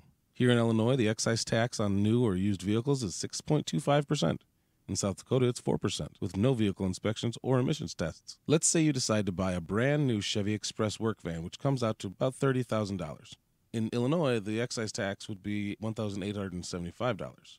In South Dakota, it would be $1,200. So, utilizing yourbestaddress.com could net you a savings of 758 bucks in the above example. It may not seem like a whole lot, but why wouldn't you do it if the process was the same or even easier? Next is residency. Now, obviously, as Vonuans, the goal would be to avoid becoming a citizen of any government, but unfortunately, that's not very practical. Therefore, since most everyone will choose residency in some state, why not choose the one with the most legal benefits? Become a South Dakota resident in under 24 hours. Once you've obtained your physical address, you simply complete the required government forms. Gross! Ugh. Blah. Yuck. Stay one night in a hotel, RV park, or an Airbnb, and trudge on down to the South Dakota Department of Motor Vehicles office. The local bureaucrat will ask you for the receipt from where you stayed. You'll provide one document proving your identity, date of birth, and lawful status, one document verifying your social security number, and you're done. You're now a resident of South Dakota, and it took less than a day. And you aren't even required to live in South Dakota. Hell, you don't even have to visit it again if you don't want to. So, what makes South Dakota advantageous in terms of legal interstices? Well, they put together this list. Becoming a resident of South Dakota is simple and painless. You will pay no state income taxes, as there is none. There's no inheritance tax. There's no personal property tax. There's no annual vehicle inspections. We have low cost registration fees and only a 4% sales tax. Compared to the communist states of Illinois, those benefits could certainly be beneficial. Now that all the governmental nonsense is out of the way, I'd like to conclude this section by discussing three tips and tricks that might help you in pursuit of this lifestyle. First is hygiene. How do van nomads stay clean? Well, some van nomads have showers aboard their rigs. Others are in the wilderness enough that taking a dip in the creek suffices. But almost all van nomads have a membership to Planet Fitness. It really is a no-brainer. For 21 bucks a month, you have access to their showers and workout facilities, and Planet Fitnesses are everywhere. The regular hot showers are great, sure, but what if it rains for a few days straight and you're cooped up in your van? Cabin fever is not outside the realm of possibility. Being able to get out of your van to work out would seemingly be a major blessing. But that's not all. With your Planet Fitness membership, you'll have access to unlimited use of hydro massage, unlimited use of massage chairs, free haircuts, free Wi Fi, among other things. So you could do your morning van life vlog, go work out and shower, upload a video to YouTube, and get a haircut so I'd recommend you pony up that 21 bucks a month. You'll be glad you did. Next is a AAA membership. If you aren't familiar, this yearly subscription service offers roadside assistance, emergency battery service, fuel delivery, lockout services, tire services, and more. They offer three different tiers: Classic, 58 bucks a year, Plus, $93 a year, and Premier, $123 a year. As an example, let's take a look at their mid-level tier. For your subscription, you qualify for up to four 100 mile tows, emergency starting, battery service, flat tire service, fuel delivery, vehicle locksmith service, extrication and winching, car travel interruption, and emergency check cashing, and more. Breakdowns happen, they're inevitable. Don't leave yourself stranded, forced to pay for a tow that will inevitably cost more than a yearly AAA membership. Lastly, is medical. Clearly, without a full time 9 to 5 job, it's safe to say that most van nomads go without health insurance. So, how do van nomads get dental work done, medical care, or medical supplies? This was one of the major hurdles for me. Without health care, there's no way in hell I could afford my diabetes supplies, mostly thanks to the fantastic socialistic healthcare system here in so called America. So, how did I overcome this obstacle? I posted in a couple of van nomad groups on Fascist Book, and lo and behold, there are other diabetic van nomads. And within minutes, the biggest hurdle was out of the way. And the answer is Algodones, Mexico. Algodones is smack dab on the border of Mexico and Arizona, a short 25 minute drive from Yuma. Algodones has been featured in such publications as Forbes magazine for their high quality medical tourism industry. Many van nomads have documented their trips there, and it basically looks like an American city, albeit without the ridiculous barriers to entry. English is the primary language, so you won't have problems communicating with your dentist, pharmacist, or doctor. So, what about the cost? Believe it or not, you can get the same prescriptions and medical care as you would here in America but for a far cheaper cost, even without health insurance. Ah, the freer market. As another alternative, you can obtain health care without going through an employer here in the United States. For example, I recently found out that I can get basically the same health insurance I had when gainfully employed for just a little more a month, 245 bucks a month to be exact, versus 150 or so. Clearly, I'd rather not have to pony up that monthly payment, but it beats the hell out of paying full price for diabetes supplies. I'm sure I'll learn a bunch of other tips and tricks once I hit the road, but these are the most common ones. So, why should you consider van nomadism for your first Vonu lifestyle change? It's the easiest lifestyle change available. Unlike sailing the open ocean, almost everyone has experience driving a car. Sure, there are some obstacles and hurdles, but they aren't too much to deal with for the dedicated freedom pioneer. It's one of the cheapest lifestyles out there. Recall the average monthly cost for this lifestyle 500 to 1000 bucks a month. Most people pay that much or more for their stationary dwelling in the Servile Society. With that expense out of the way, this enables you to work less and utilize that time doing whatever you decide to do. Also consider that when individuals lose their jobs or their homes, what are they sometimes relegated to doing? Living out of their car. Now, obviously, this scenario isn't by choice, but that alone should really illuminate the fact that this lifestyle is extremely cheap. It's immensely freeing and rewarding. If you could make all the money you needed and more working half of the year and doing whatever you wanted for the rest of the year, what if your scenery and front porch view could change from the desert one day to the ocean the next? What if you weren't tied down to a fixed location for years on end working a job you hate to pay for a house that you basically likely only sleep in? Better yet, what if all of those things were well within your reach? Van nomadism is a terrific interim lifestyle. For me, the dream is still to find freedom on the open ocean, but I'm not going to wait around to be free.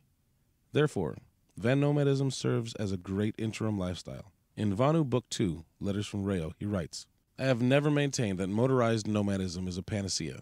I did choose it for and have found it to be an excellent interim lifestyle for someone still extensively involved in the servile society.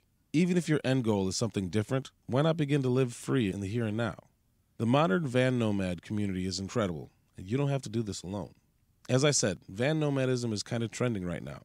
One YouTube search will garner months of content. But this van nomad community does not only exist in the digital realm, it also exists in the physical realm. This is one of the things I'm most looking forward to. Many of these folks are Vonuan. They just have never heard of the word. These are individuals who, for whatever reason, decided that a normal life in the servile society was not for them. Instead of political crusading and begging the masters to change the system, they pursued direct action and created the life they desired themselves. Even if we have differing economic opinions or whatever, these people are serious, and I can't wait to meet them.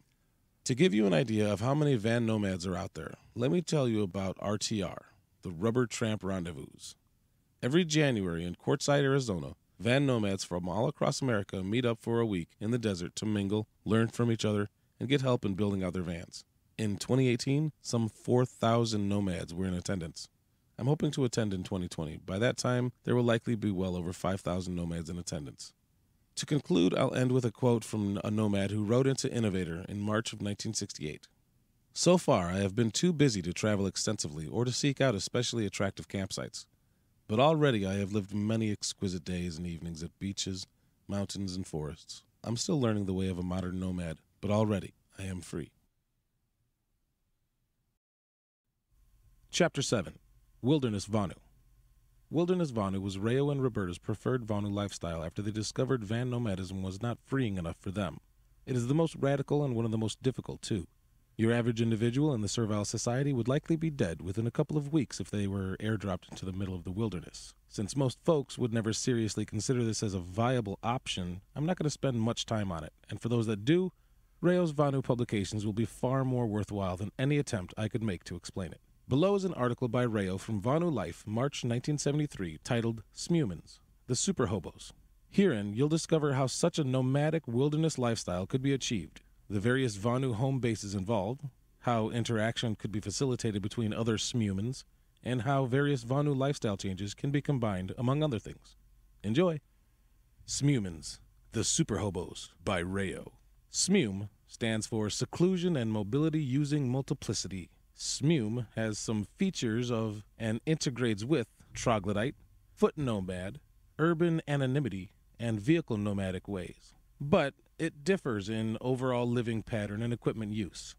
SMUME has similarities to traditional ways as diverse as hobos, Eskimos, fur trappers with several overnight cabins, and wealthy families with several conventional houses. Many SMUME lifestyles are possible, but all involve migration among various abodes. The abodes are usually simple, inexpensive, semi permanent, and widely separated. A number of towns of a region are used, in succession, as trading outposts. SMUME offers, in part, the wide ranging mobility and anonymity of vehicle nomadism with the privacy and safety of troglodytism. While SMUME is complicated to describe, at least with conventional concepts, Smume is easier to implement than any other lifestyle I presently know of which offers comparable Vonu. Smume is made economical by the low cost of plastic film and secondhand utensils. A Smume family migrates between its abodes, probably seasonally. Less often an abode is moved to a new site within the same area, or phased out in favor of a new abode developed elsewhere. Most of the abodes are located at least a quarter mile and not more than 10 miles from a road. The road is preferably either a highway or a trail without habitation along it or at its intersection with the highway. Most abodes cannot be reached by motor vehicles. There are several hitchhiking routes from each abode to one or more such roads. Each route reaches the road at a different place and at a different out of sight residence. At least one route from each abode ends in a parking spot which is out of sight of the road and rarely used, suitable for unloading supplies. A few hundred yards into the brush from each parking spot is a stash for low value supplies awaiting backpacking to the abode. The supplies are stored in drums for protection from animals and weather. Hiking routes are irregular and cannot be followed by someone not familiar with them. Each route is used only a few times a year, so it doesn't receive much wear. In Siskiyou region, abode sites are selected so that highway distance between is typically 100 miles. The separation is determined by the distance between major trade towns and the living patterns of conventional people. People rarely go a hundred miles to work, shop, or socialize. Overland hiking distances between abodes is less, typically 30 to 40 miles. The abodes all lying within the same mountain range. A family has no single trading outpost. From each abode, a different town, or better yet, two or three in alteration, are used for shopping, receiving forwarded mail, and perhaps temporary employment. The towns so used are fairly large, at least 5,000 people within shopping range and they are located on major highways and thus accustomed to many visitors. After living at one abode a few months and making trips alternatively to the nearest suitable towns, which preferably lie in opposite directions, the family moves to another abode, a hundred miles away, and makes trips to different towns, and so forth. They do not return to the first abode and the corresponding trading outposts until a year has passed. If a family has six abodes, 12 trading towns, and makes trips to town twice a month, one member is in each town twice a year not often enough to be distinguishable from the many thousand travelers who stop briefly. The family is probably not limited to a fixed schedule or route. If they encounter trouble in one town, they do not return to that area for several years, meanwhile developing a new abode elsewhere. In an emergency, they can hike overland between abodes without using roads or going to populated areas. All possessions of a Smume family have one or more of the following characteristics inexpensive, expendable, small, used seasonally, Inexpensive items are duplicated and left at each abode. These might include polyethylene film and rope for rigging tents, bedding, cooking stove, utensils, extra clothes, and drums for storage while abode is not occupied. Bedding, clothes, and utensils are scavenged at dumps or purchased secondhand. Total cost of stationary items at warm weather abode is probably less than $50. Expendable supplies include food staples, soap, writing paper, kerosene, and propane. These are ordinarily left at an abode until consumed. Some small but valuable items move with the family, such things as a watch, transistor radio, binoculars, handgun, radiation detector, camera, medical kit, sewing kit, and often used reference books. Seasonal items are grouped according to use at specific abodes. These include most books, tools, and construction materials. Each abode is somewhat specialized for the activities performed there and the season that it is used. Abodes might include summer camp, this might be more remote than other abodes since there will usually not be snow and swollen rivers to hinder access. If foraging and Vonu horticulture are accomplished in that area, books, tools, and preservation equipment are stored there. A plastic tent and mosquito netting are sufficient shelter. Winter abode. This may be a semi underground structure or a large foam hut plus a plastic tent. Since there is little warm working space, much reading and writing are done here. Most books are stored there. Electric abode. A small generator, probably hydroelectric, powers a sewing machine, electronic equipment, or any other gear requiring electricity, but not bulky imports. Relevant books and material are stored there. Edge place. This is for work involving bulky imported materials such as carpentry, and is the one abode accessible to vehicles. Major work on any vehicle is performed there, also any work which, because of space required, noise, or smells, is not easily vonued. Edge Place is most likely on fairly secluded private land leased from a friendly landowner. An old van or house trailer may be parked there to provide sheltered work and storage space. Edge Place is much less Vonu than other abodes, so work requiring much privacy is not performed there. And any family members especially threatened, such as slave aged children during that season, remain elsewhere. A minimally furnished van may be used for shelter if one or more members occasionally go into that society to earn money. When not in use, it is probably parked on private land, perhaps at Edge Place. A friend who may be outside the Siskiyou region provides a permanent mailing address. The friend accumulates mail, bundles it, then sends it as a parcel as directed. If possible, the family makes arrangements with trustworthy local people in each town to receive parcels. If not, the parcels come general delivery. A legal home address for driver's license and vehicle registration, if needed, is probably arranged in a large city outside the region and separate from the mailing address. Means of transportation vary. One SMUman may not have any vehicle. E. Hitchhikes for mail and light supplies. Also for migration between abodes. E. Hires a van for pickup, preferably a transient to haul heavier supplies. Another SMUman may use a motorcycle for all transport. This will be a bike with enough power for a highway, yet light enough to manhandle into hiding places, perhaps a 250cc trail bike. Still another may have a van or camper for hauling supplies as well as for work excursions. E will also have a motorbike or else hitch rides, since places suitable for long time parking will seldom be convenient unloading spots. Smumans, like other Vonuans, obtain money in ways which minimize time and involvement with the servile society. One may have a line of special services or products E sells through merchants in the town E visits. Another may have a mail order enterprise. Someone with a highly paid skill may journey to a distant city for temporary employment. But most, at least at first, will probably depend on day labor in nearby towns and seasonal crop work. Although this is low paying, a SMUman's expenses can be very low, so not many a day's works are needed. An individual or family without slave age children can be flexible about outside employment, working together or separately at any time of the year. A family with children is more constrained. Perhaps during the school year, the children remain at a secluded site. Then, during summer, the whole family does crop work and any other activities involving that society. If asked for addresses by employers or bludgies, a SMUman gives her legal home address. If asked for local addresses, E says E is visited by some friends, location vaguely defined. A SMUman can be opener with outsiders than he can be with more stationary wilderness Vonuans. In some instances, E may be able to socialize with local non Vonuans. E can even say to friends, E is camping back in the woods, knowing E will have moved on to other woods before the word gets very far. For a SMUman, the whole Siskiyou region becomes, in a sense, a single widely dispersed city of several hundred thousand people. SMUM offers much of the anonymity of metropolis without the pollution or nuclear danger. Assets are dispersed and cannot be destroyed by a single misfortune. Comparing SMUM to full time van living, most time is spent in or around abodes which are concealed away from roads in rugged, brushy areas, rarely, if ever, penetrated. With our van, the greatest mean time to harassment we have achieved is one or two years, whereas a single small tent we can easily achieve 20 years mean time to harassment. With more work and care, 200 years. Interpretation If there are 200 such camps, an average of one a year will be discovered. This is while a camp is set up. Torn down and stuffed in drums under bushes, chance of discovery is even lower. We have had enough stash tents in enough situations to have confidence in the 20 year figure.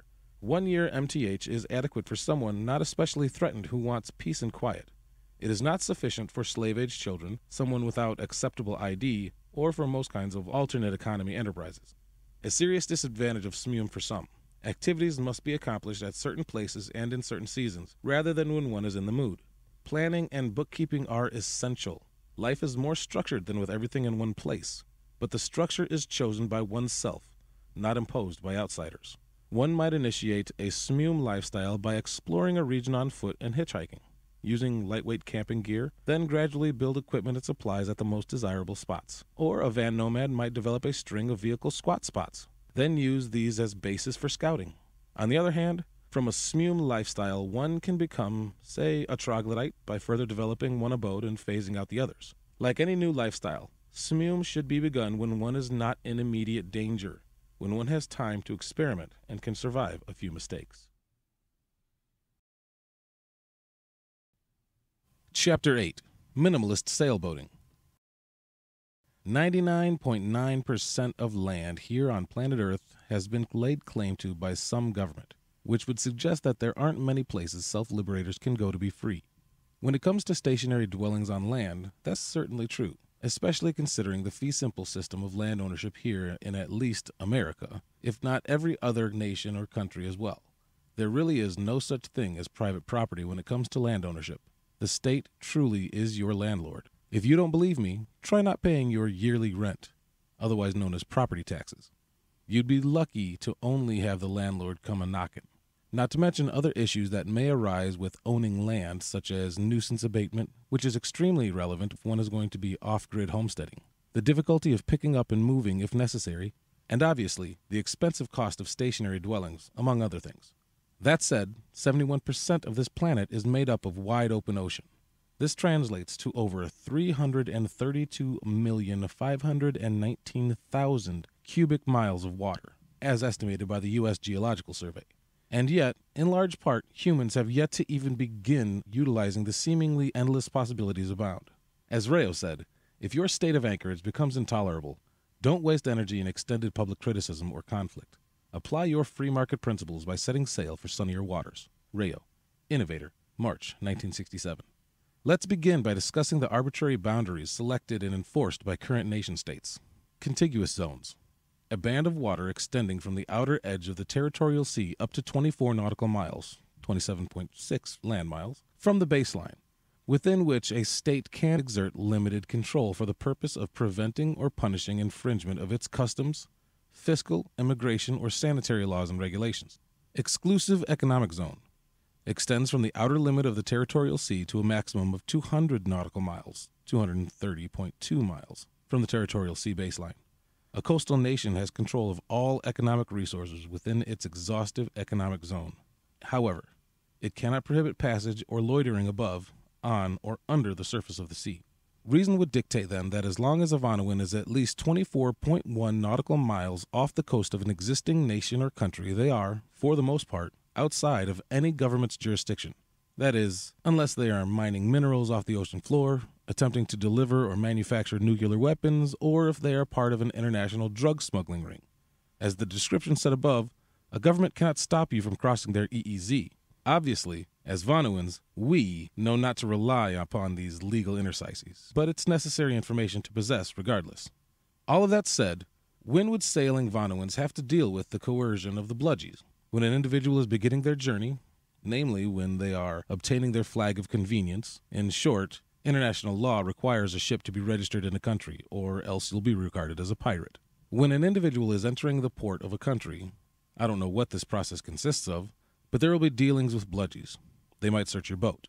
Outside of those two scenarios, there shouldn't be any other interactions with government, especially if you're spending most of your time on the high seas. Case study City Jim to Captain Jim. Jim Smith spent his entire childhood and most of his 30s in the communist hellhole known as New York City. He graduated with an engineering degree from Columbia University, only to end up as a contractor for Boeing, putting together the next design for the military's F 35 fighter jets. And he truly did love his work. I made it, he thought to himself. I'm 24 years old, and I'm pulling in six figures. Fast forward a few years, and he is happily married to his wife, Katie. They actually met each other at a mosh pit in a killer Veil of Maya show. In a normal context, the way they met probably would have been considered spousal abuse. But in this circumstance, it was love at first accidental elbow to Katie's face. They're in a great financial situation for their age, statist servile society standards, that is, but they aren't positive if they want to rear offspring or not. They decide to put it off for a few years. Jim is still plugging away at Boeing. He received numerous commendations for his superior work, but they just aren't doing much for him anymore. The law of diminishing returns in action, maybe? Not so much. When he was younger, he didn't much care what the product of his labor was used for. He didn't even think about it. He was there to collect his weekly paycheck so he could go chase women at nightclubs, and that was it. Then the Bradley Manning leaks happened. He saw the realities of war firsthand and realized that his job was far more than just schematics and mathematics. He was producing weapons of mass murder. It was then that he knew he had to make a change. He requested an internal reassignment to private sector work, but it was denied. So he quit, unsure as to what his future may hold. When he went home, he vented his frustrations and outrage to an understanding Katie. Like most, she really didn't have any idea what was going on in the geopolitical realm, but she could see that this was eating Jim up inside, and rightfully so. She decided to retreat to her office to think. After some thorough research on the internet that evening, Katie came across a podcast episode titled The Anti War Rayo, released by two folks, Shane and Jason. They laid down in their bed and listened together before they went to sleep. This was the start of their journey as Vonuans. Over the course of the next few weeks, they scoured all of the content currently available on this freedom strategy called Vonu and this really interesting guy named Rayo.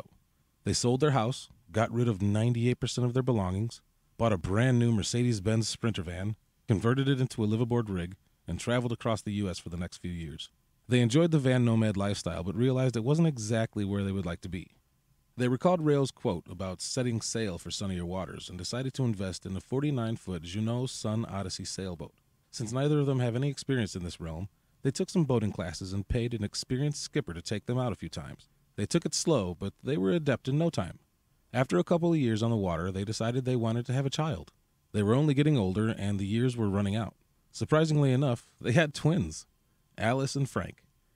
After ensuring the babies were healthy and spending some time settling in as parents, they set sail as a family for the very first time. When Alice and Frank get a little older, Jim and Katie plan on unschooling them. Case study From skipping school to skipper. Nathan Scott somehow graduated high school this year, and like most high school age kids, he has no idea what he wants to do with his life. He's in a more interesting situation, though, compared to his peers. When he was a freshman, he came across the Bad Quaker podcast, hosted by a guy named Ben Stone. Ben introduced Nathan to the concept of anarchism, a label he now proudly proclaims. His parents think he's just trying to be cool, but he has extremely good philosophical, ethical, economic, and practical reasons for his hatred of the state. And he's passionate about the idea of freedom. He's a regular listener to the Vonu podcast, and he knows higher level indoctrination, college, is not for him. Hell, he knows a normal 9 to 5 servile society job would drive him mad. He's considered van nomadism as an interim lifestyle, but he agrees with Rayo. The strategy's reliance on slave tags is unsettling. So where does that leave young Nathan? He wants to set sail for sunnier waters. He has no idea what he's doing, he has no money to do it, but he's made his goal. And as a dedicated freedom pioneer, he won't take no for an answer. Thankfully, his young age means that he has no debt to take care of, no affairs to get in order, i.e., selling a house, and no one dependent upon him he can safely take some risks, especially considering he's on his parents' health insurance for another eight years. Living on the West Coast, he knows that there are occasionally positions open at marinas or docks for maintenance, service, and janitorial duties. At least, he thinks to himself, this will be a start. I can learn the basics and go from there. So he applies for an open dock position, and he gets it. The seasons change as six months go by, and he notices a boat that has not moved a lick since he began to work. It's a 42 foot, 1992 Laguna TPI sailboat. Overall, it's in super rough condition and could use a lot of work. He goes to his boss and inquires further. It's been abandoned for six years. You can have it for a thousand bucks if you get it the hell out of my marina. The now Captain Scott took the deal and began to refurbish and restore this once exquisite sailboat. He gave it a deep cleaning, replaced the propeller, stripped most of the electrical as there was quite a bit of exposed wire, and modified the living quarters. While he restored the boat, his boss took him for a little sailing adventures on a similar boat so he could learn the ropes. He learned how to navigate the ocean, operate the levers and pulleys that raised and lowered the sails, the necessary sailing terminology, and even got a couple experiences in nasty storms. During the process of restoration, Nathan lived minimally and frugally, saving as much money as he possibly could. Thankfully, due to his young age, he had not accumulated too much stuff, and therefore there wasn't much to get rid of. All of his belongings fit snugly aboard. His goal was to have a year or two of income saved up so that he could focus his efforts on self liberational media, i.e., a YouTube channel, writing a book, etc. After a couple of years of hard work, Libertas was ready to set sail, and so was he. He charted his journey southwards in the direction of Ecuador and truly began his life as a Vonuan, and it was a good life. He soon learned that boat maintenance is time consuming and can be expensive, but he made it work. He chronicled his adventures in the form of self liberational media. He was unable to afford the ridiculously expensive high seas internet and opted instead to record a batch of podcasts each month and return to land to upload them. He utilized WordPress schedule post function, which allowed him to keep his audience tuned into a steady stream of content. For paying subscribers, he even gave them the opportunity to sail with him. It's a great opportunity for him to fund his adventures and a reward well worth paying for his listeners. As he became more competent, he realized that he wanted to return to the statist servile society less and less for import export. He theorized about the possibility of somehow making himself more self sufficient aboard Libertas. He thought of hauling some sort of a floating platform behind him which he would load with fresh, organic vegetables. After further consideration, he realized that was probably a no go. He recalled Rayo's discussion on something called cryptoculture, or small hidden patches of food which could be harvested. What if I grow my own food on an uninhabited ocean island? So he sailed around and found the ideal candidate. Now he was able to provide 100% of his food himself fresh vegetables on the island and fresh seafood from the ocean. As is the case with any Vonuan, he became more and more competent as the years went on. And from his self liberational media, he was recruiting people in droves to make radical lifestyle changes in pursuance of freedom. He learned firsthand the accuracy of an oft said proverb A rising tide raises all boats. Making money on the open ocean. It's worth a few notes on ways to make money while sailing full time. Back in 1966, Kerry Thornley published a series of articles sharing the same title as the next section. That will be the source of most of this information. For smaller boats, there aren't a whole lot of options. The few that come to mind are self liberational media, digital nomadism, and consulting. For larger boats, the options expand quite drastically. Thornley elucidates. Charter sailing tourists in colorful parts of the world is a good way to make money while living at sea, but it's not the only way in which a large boat can serve as a tool of production. Simple freedom from police harassment for group activities, such as wild parties, clandestine political meetings, illegal medical operations, is a valuable condition which a boat captain can provide for a fee. In addition, he can run cargoes to out of the way places, unserviced by major shippers, provide transportation to escaping political refugees, and undertake speculative anti state ventures, such as smuggling of American cigarettes into Spain, where high tariffs make such operations, however dangerous, extremely profitable. Smuggling opportunities in a world of anti libertarian trade policies, in fact, are legion. One can take diamonds out of Africa and South America, run arms to rebels in Cuba, land used auto and refrigerator parts in Mexico, bring gold into certain near totalitarian countries where ownership of some is unlawful, all for life, liberty, and property. Obviously, I would never advocate you do anything illegal. If you decide to pursue any of the above methods, you do so at your own risk and of your own accord. There are even larger applications to this strategy, which could bring in a substantial amount of money but carry a lot more risk. Let's run through a hypothetical example here assuming that there is somehow a massively funded anarchist organization, the Maritime Messians, or TMM. TMM, an anarchist organization of roughly 20 members made rich from digital currencies, see an opportunity for huge profit in the open ocean.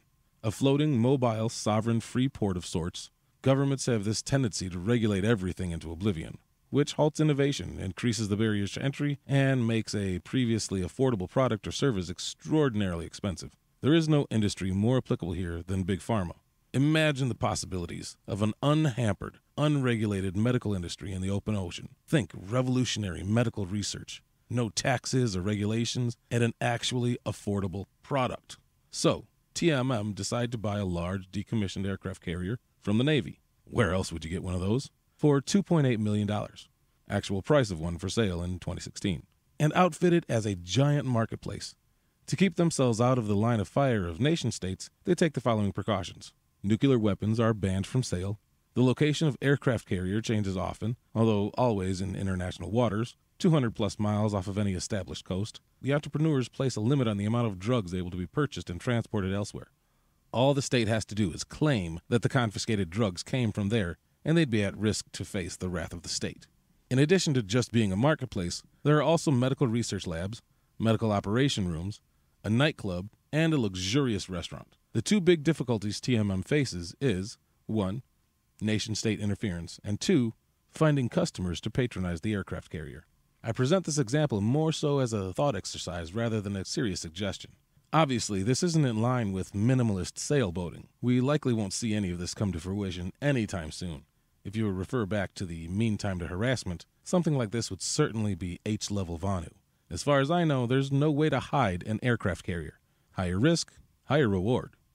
The Permanent Floating Voluntary Society. When I tell the story of Rayo, one of the first retorts I often receive is, I don't want to live in isolation. For the most part, I don't either.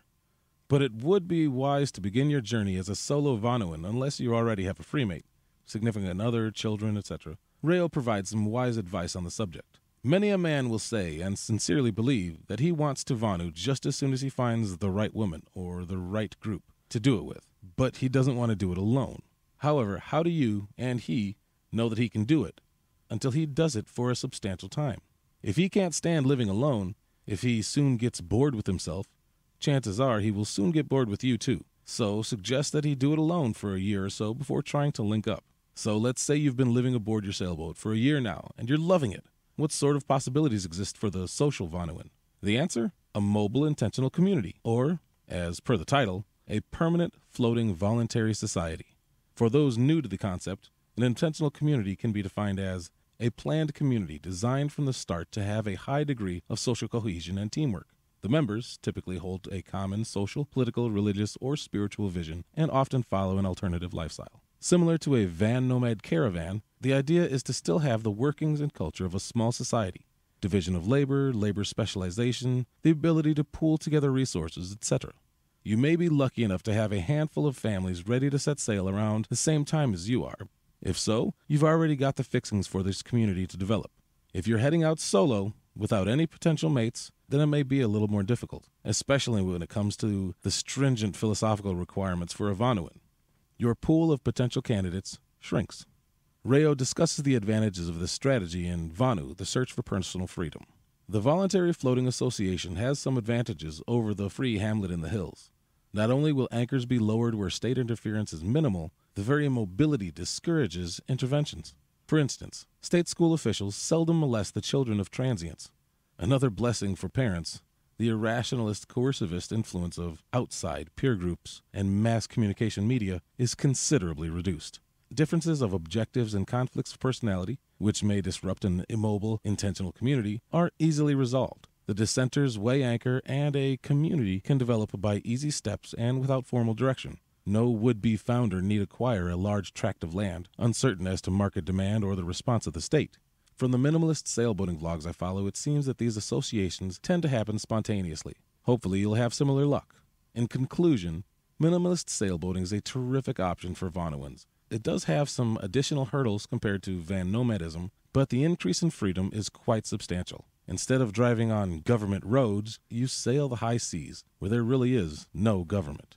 It's worth noting that sailing can be rather difficult. Here are some recommendations I'd make for someone interested in pursuing this lifestyle. Test out the lifestyle before committing.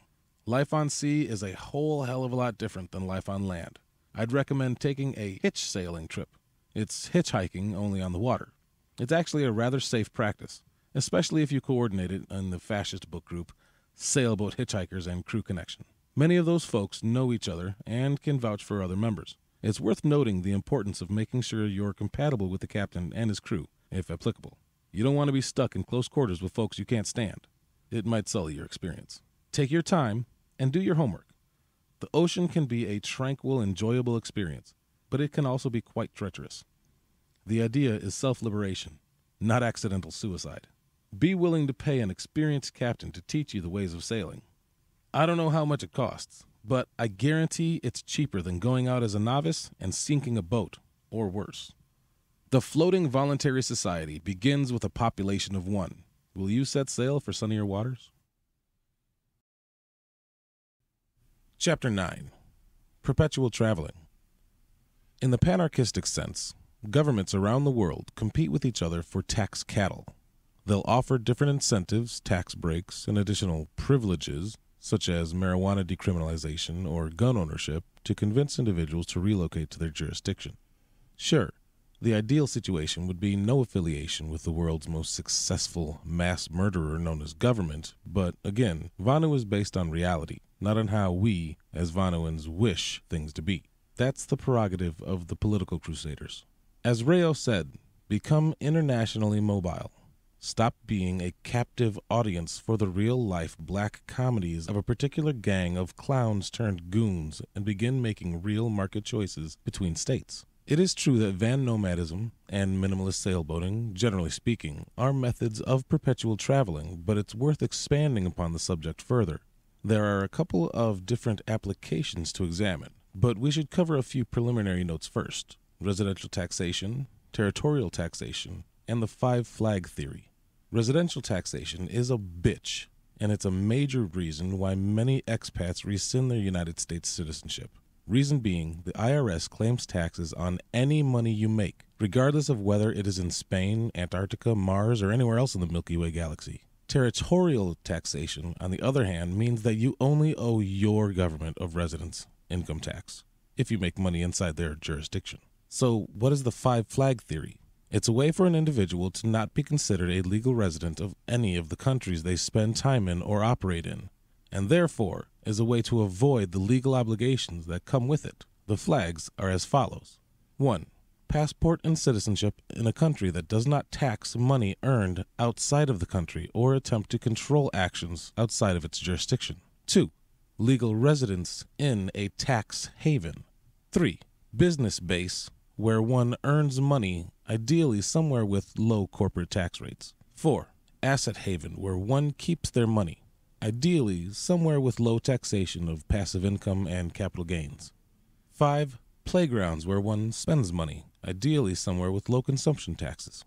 This is the most popular strategy perpetual travelers use. Let's take a look at a couple of case studies to see how this lifestyle could be developed. Case study Victor the Vagabond. Victor Cruz was born in Canada in the mid 70s. He worked as a developer in the technology realm for 20 years until the boom of the internet. He started a couple online businesses and made a bunch of money in short order. He'd always wanted to live a life of travel, but had never possessed the funds to do so. Now he could. Victor sold his home and all of his belongings, sans what he could fit into a suitcase. He did some research into what countries he might like to utilize for the five flag theory and got his new legal affairs in order. He traveled around for a while, getting a feel for different countries to see where he would like to spend most of his time. He found that France, Ecuador, and Brazil were his absolute favorite places, but most countries only allow tourists to remain there for so long without applying for a tourist visa. Well, considering he's a perpetually traveling Vonuan, he always relocates before having to go through that process. He finds that he typically rents houses wherever he goes. Sure, he may not be building equity, but it beats the hell out of paying a ton of taxes each year. Since he flies everywhere, he does have a few run ins a year with the airport bludgies. He dislikes the invasions of privacy and the coercion, but he feels it's a price worth paying to live the life that he truly wants to live. Case study Winfred the Wanderer. Winfred was your average individual in the servile society just a few years ago. He was stuck at a dead end job in Wellington, New Zealand, making just enough money to survive. His rent was high and he felt trapped in a life that he couldn't even recognize anymore. His life wasn't even his own. Out of desperation, he began doing some research on the internet and stumbled across the van dwelling section on YouTube. He was enthralled with the lifestyle and decided that it was for him. So he saved up as much money as he could, bought a van, and converted it into a liveaboard rig. Since he was already living frugally out of necessity before, this change was quite smooth for him and allowed him to finally save a substantial amount of money. He lived in his van working the same job for a handful of years while building up his investment capital. He eventually had enough to break free. He quit his job, sold his van, and flew to America. For a few weeks, he stayed at an Airbnb in Austin, Texas, until he found a new van to buy and convert. He traveled across North America for about a year and decided it was time to move on again. So he sold the van and hopped onto a flight to Perth, Australia, only to repeat the process. When he was in Australia, he became enamored with a woman who lived aboard her boat, and she with him. They only spent a few weeks together, but they decided to set sail to circumnavigate the globe. It would turn out to be a five year adventure, and they loved every minute of it. Now Winfred is free, and he found another self liberator in the process. He was willing to make the sacrifices necessary for a life of freedom. It wasn't easy, but nothing worthwhile in life really is. His case study is a great example of how a Vonuan can use van nomadism as an intermediate vehicle for self liberation. Pun intended. Advantages and disadvantages. From the above case studies, you should be able to see some clear advantages as well as disadvantages. Let's start with the advantages. If you're a resident of a place you never spend time in, the politics at play are completely irrelevant. It'd be akin to caring about the politics of Italy after you've had a week long vacation to Rome. Compared to your average news junkie, this opens up a lot of time for other pursuits. It'll probably save you some health care bills down the road, too. If you've made it this far in the book, politics probably makes your blood boil. Perpetual travelers also have the ability to utilize legal interstices that aren't available to most stationary dwellers. They can organize their life in such a manner as to avoid most of the coercion of the servile society. Because, let's face it, the most coercion comes from the government presiding over your country of residence. One other advantage was elucidated by Rayo. He said, The mobile libertarian not only bypasses most existing state coercion, but is well equipped to escape incipient totalitarianism, with the American government readying plans for general forced labor, rationing, and censorship in the event of war or other national emergency escape can be essential for philosophical, if not physical, survival. And while a retreat in the boondocks can serve as a temporary hideout, when total fascist socialism comes, those who fare best are usually those who leave early. With the modern political climate and all this talk about a wall, I think Rayo's words are more important now than they ever were then. After all, Government walls are not to keep people out, they're meant to keep people in. History has more than borne out this fact. In this event, perpetual travelers will already be ahead of the game, as there are really no sane reasons they would ever choose America as their country of residence. Unfortunately, there are some disadvantages, though. Most importantly, would be this strategy's reliance upon slave tags. Only in this case, it's a passport, not necessarily a driver's license. As Rayo so astutely points out, get a passport, but don't depend on it. Passports may be revoked in the event of a national emergency. Earlier this year, even, the American government revealed that they might suspend passports for seriously delinquent taxes, or more specifically, in excess of $50,000, including interest and penalties. Those can add up quick. What's scarier is the fact that passports may be needed at some point in the near future to even travel domestically. Talk about a great way to keep the tax cattle in the cage. Anyway, what does this mean for perpetual travelers? As I said above, I don't think any intelligent Vonuan perpetual traveler would ever choose America as their place of residence. It's counterintuitive to the entire notion of perpetually traveling. Furthermore, even if the individual in question took pleasure in paying taxes and didn't rescind their citizenship, it would be unwise to rely upon just an American passport. Imagine if you were in Costa Rica, about to board a plane, and your passport was revoked for whatever reason, i.e., delinquent taxes, national emergency, whatever. I wouldn't want to be in that position. A solution to this problem is dual citizenship and having two different passports. But do your research and make sure most countries will accept it. For example, you probably wouldn't want to get a passport from Somalia or Afghanistan. That way, if one is revoked, you aren't shit out of luck in some foreign country. It's not a perfect solution, and proposing citizenship for two countries to Vonuans might be a tough sell, and rightfully so. Keep in mind, Proper preparation prevents piss poor performance. Try not to get stuck in Costa Rica, unless you want to, of course. Perpetual traveling is another interesting strategy for freedom pioneers, and again, it's all up to how you structure it. You could be Victor the Vagabond, Winfred the Wanderer, a combination of the two, or something all of your own. Let's close out this section with some more timeless words from Rayo. So, the free man of the world, like the alert shopper who buys the specials at various stores, selects the best features of various states, and his very mobility gives added protection from the worst depredations. Chapter 10 Stationary Intentional Communities.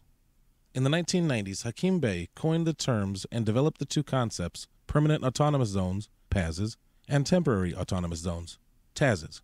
PAZs can be defined as a community that is autonomous from the generally recognized government or authority structure in which it is embedded. In other words, it is a recognition that the PAZ is located within the alleged jurisdiction of a government, yet it is a declaration that inside this zone, we are autonomous. Intentional communities of any flavor would be considered autonomous zones, yet the mobility of the Vonu home base, the place where you are most invulnerable to coercion, is the determining factor as to whether the zone in question is temporary or permanent. For this section, we will focus on the stationary intentional community, in contrast to the mobile ones we examined in the previous chapters van nomad caravans and minimalist sailboat fleets. Rayo describes these PAZs as a smaller and more limited approach based on physical congregation of libertarians in a geographical area. These essential differences between an intentional community and a sovereign free port is admission requirements. The intentional community would be smaller less involved in external trade, not possess legal sovereignty, and require less capital. To hammer this point in again, if the coercers can find you, they can coerce you. And in the case of this strategy, the bludgies will know exactly where your community is located. This is the main drawback to PAZs, as mobility is what provides the highest degree of VONU.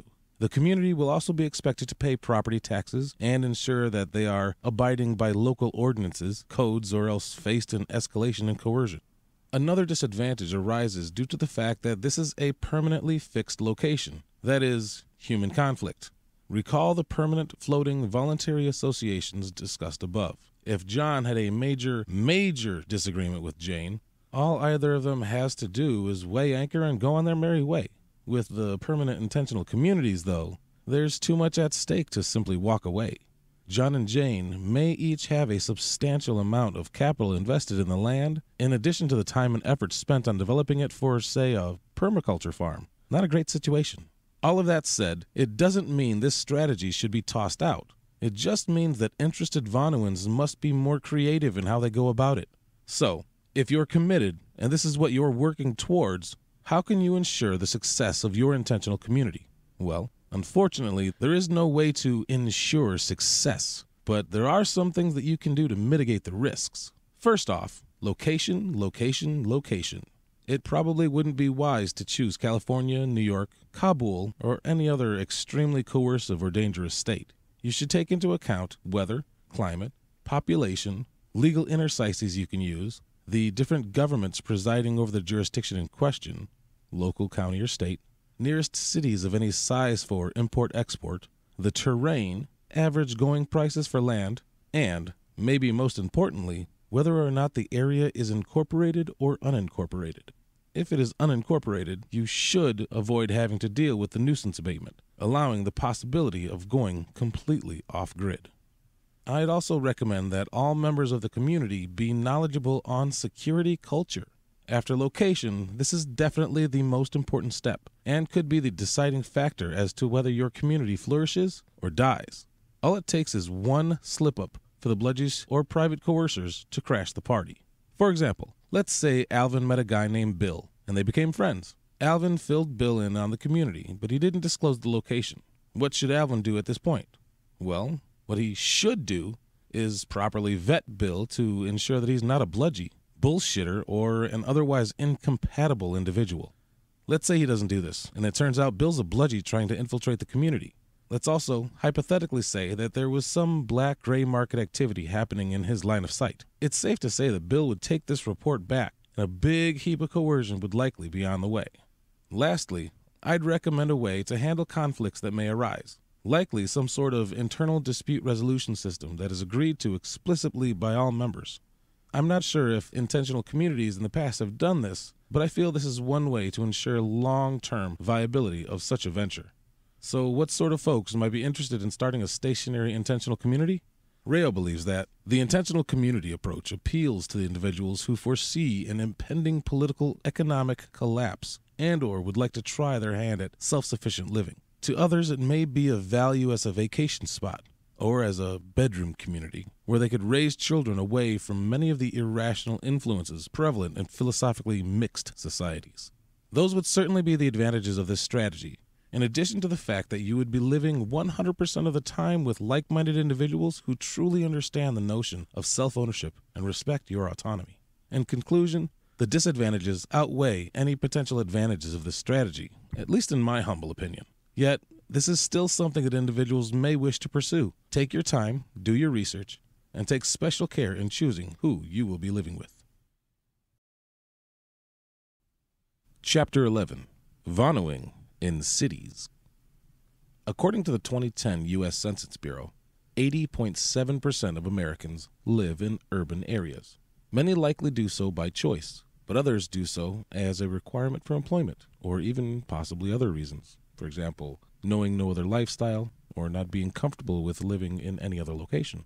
Clearly, then, some Vonu lifestyle changes may not be appealing or possible for many folk. The question to ask then becomes is it possible to Vonu in cities? This topic is one that Rayo did not spend much time on, at least in the publications that I've been able to acquire. In Vonu, The Search for Personal Freedom, he wrote a two page, 800 word article on it. But that's it.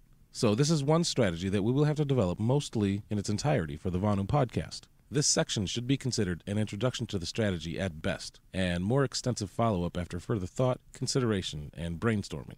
Rayo highlighted five different approaches to Vonuing in cities namely, 1. Anonymity, 2. Gather with fellows in a ghetto, 3. A blend of concealment and deception, 4. A den or camouflaged camp on unowned lands, such as a public park, 5. Van nomadism with city squat spots. We'll cover each of these separately. Anonymity. Regardless of whether or not you're living in a city, a Vonuan should always exercise security culture when entering the statist servile society. If you're living there full time, then it's doubly important. Practicing the gray man is absolutely crucial. As Rayo advises, be visible but not noticeable. Conform outwardly while doing your own thing in secret. Be inconspicuous. Remaining anonymous is becoming more and more difficult as time goes on, especially after 9 11. Many of the suggestions Rayo and other Vonuans made are largely irrelevant. For example, renting under a nom de plume. That is certainly not possible today. Most rental companies require a background and a credit check, both of which require your social security number. Even if you're simply selling some old video games to Mega Replay, personally identifiable information, i.e., a driver's license, is almost always required for anything. And for some Vonuans, remaining anonymous is simply not enough. Rayo explicates. For me, anonymity alone was unsatisfactory because of city psychological pressures. I was immersed in an alien culture with values hostile to my own. Whether or not I was especially vulnerable, I felt vulnerable. The city psychological pressures are definitely one of the biggest obstacles to overcome when vonuing in cities. Not only can it be mentally taxing and exhausting being surrounded by statists all the time, but these pressures often pull once dedicated freedom pioneers back into submissive, conventional lifestyles. As of 1972, Rayo and others didn't really have any solutions to this. As of today, I really don't either. If you do, please let me know. Gather with fellows into a ghetto. This might be the strangest recommendation Rayo proposes in his book, so much so that I really don't have much to say about it. I'll let him explain it for you. A way to reduce psychological pressures is to gather with fellows into a ghetto a second approach to city Vonu. One loses anonymity with respect to larger culture as one develops subculture speech, customs, mannerisms, and dress. But one becomes a relatively indistinguishable member of the subculture, requiring that any organized aggressor attack everyone or no one. All look alike.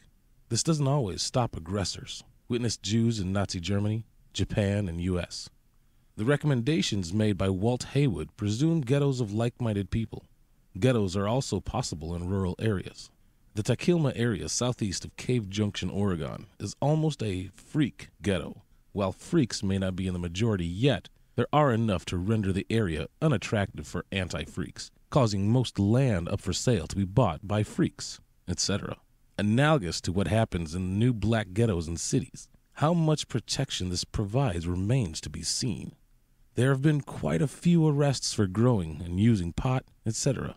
A bigger crunch will come when substantial numbers of freak children become old enough for slave school. Will the Supreme Court require long hairs and short hairs to be intermixed by busing? Or will it compel kids to cut their hair middle length, with the length set by the majority vote every four years? I suppose it's one way to surround yourself with like minded people, but like Rayo, I'm quite skeptical of the proposition. If the Bludgies were trying to shut this down in the 70s, this is probably a lifestyle they wouldn't tolerate today. That, and do you really think there are enough Vonuans interested in this to make it viable? It's probably as likely as the state being abolished tomorrow. A blend of concealment and deception. This is one of the most practical and realistic approaches Rayo presents. The idea is to construct hidden soundproof apartments and workshops beneath or within an owned building, ostensibly used for other purposes. For example, let's say that John is a Vonuan who works as a mechanic and that he has his own shop. He could construct a hidden apartment within that would only be accessible to him and that only he would have knowledge of.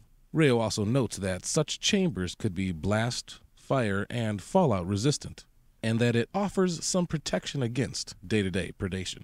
Another example of a hidden bedchamber can be found in the terrific crypto anarchist novella, Hashtag Agora. What are some considerations to take into account for someone interested in this blend of concealment and deception? Firstly, it's important to conceal the fact that you're going to be constructing anything. Nosy neighbors or bludgies might inquire further. Also, think carefully how you will enter and exit the premises, whether you decide upon a false wall, a hidden staircase, underneath tiled floor, or whatever else. The idea is to avoid heavy foot traffic that could be picked up by the bludgies or other coercers. The disadvantages for this strategy are similar to the ones discussed in the anonymity section above. The city's psychological pressures would still be an obstacle with little or no solutions at this time, in addition to the fact that even constructing this hidden bedchamber would be complicated.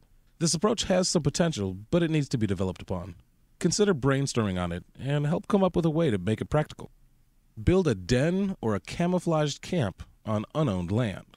This specific approach is actually quite similar to Wilderness Vonu, the main difference being that this den or camp would be located in a public park inside of a city. There's only one real advantage to this strategy, which is easier access to the city. Other than that, this one is riddled with problems and obstacles. Of course, concealing your structure in a public park is going to be far more difficult than concealing a polyethylene A tent in the Siskiyou National Forest. As with the other approaches, there are general hazards of city living, including smog and a nuclear threat.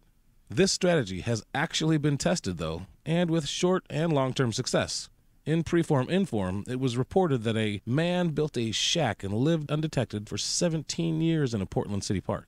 One of my colleagues from the UK recently sent me an image of a tent, right out in the open, located on public land. He informed me that it had been there unmolested for a few weeks. Obviously, this individual in question was not practicing concealment. It's worth noting that it would be wise to develop concealment skills in remote areas so as to get experience without the higher risk of a harassment by the bludge. Once you develop your competency in the wilderness, then you can opt for better city access. Van nomadism with city squat spots. This is an approach that we already touched upon in Chapter 6 and is successfully practiced every single day all over the world. There is so much self liberational media walking you through exactly how to do it and what considerations to take into account, it's not even funny. Some individuals choose van nomadism for this purpose alone, as it still provides them access to the city and their place of employment. Rayo elaborates on how to successfully stealth camp. Private land, such as backyards of friends, is probably safer than the streets for long stays. The vehicle not need to be as self-contained since utilities are close at hand. Off-the-road performance isn't important. Appearance, conventionality, license plates, etc. are important. A few other squat spots you might consider. Walmart parking lots. Walmart has always catered to RVers and travelers, but this possibility seems to be on its way out. Reason being, local governments are passing ordinances saying it's illegal to sleep in parking lots.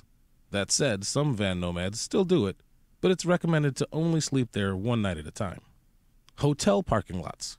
There are almost always vehicles in hotel parking lots, meaning that if you have a stealth van, you'll likely be able to get a night's rest without issue. Mechanic shops. This one is a bit more risky, but it is a potential option. Obviously, there are always cars being worked on at mechanic shops, many of them remaining on the lot overnight. You may have luck sleeping there, as long as you're up early and gone before they're open.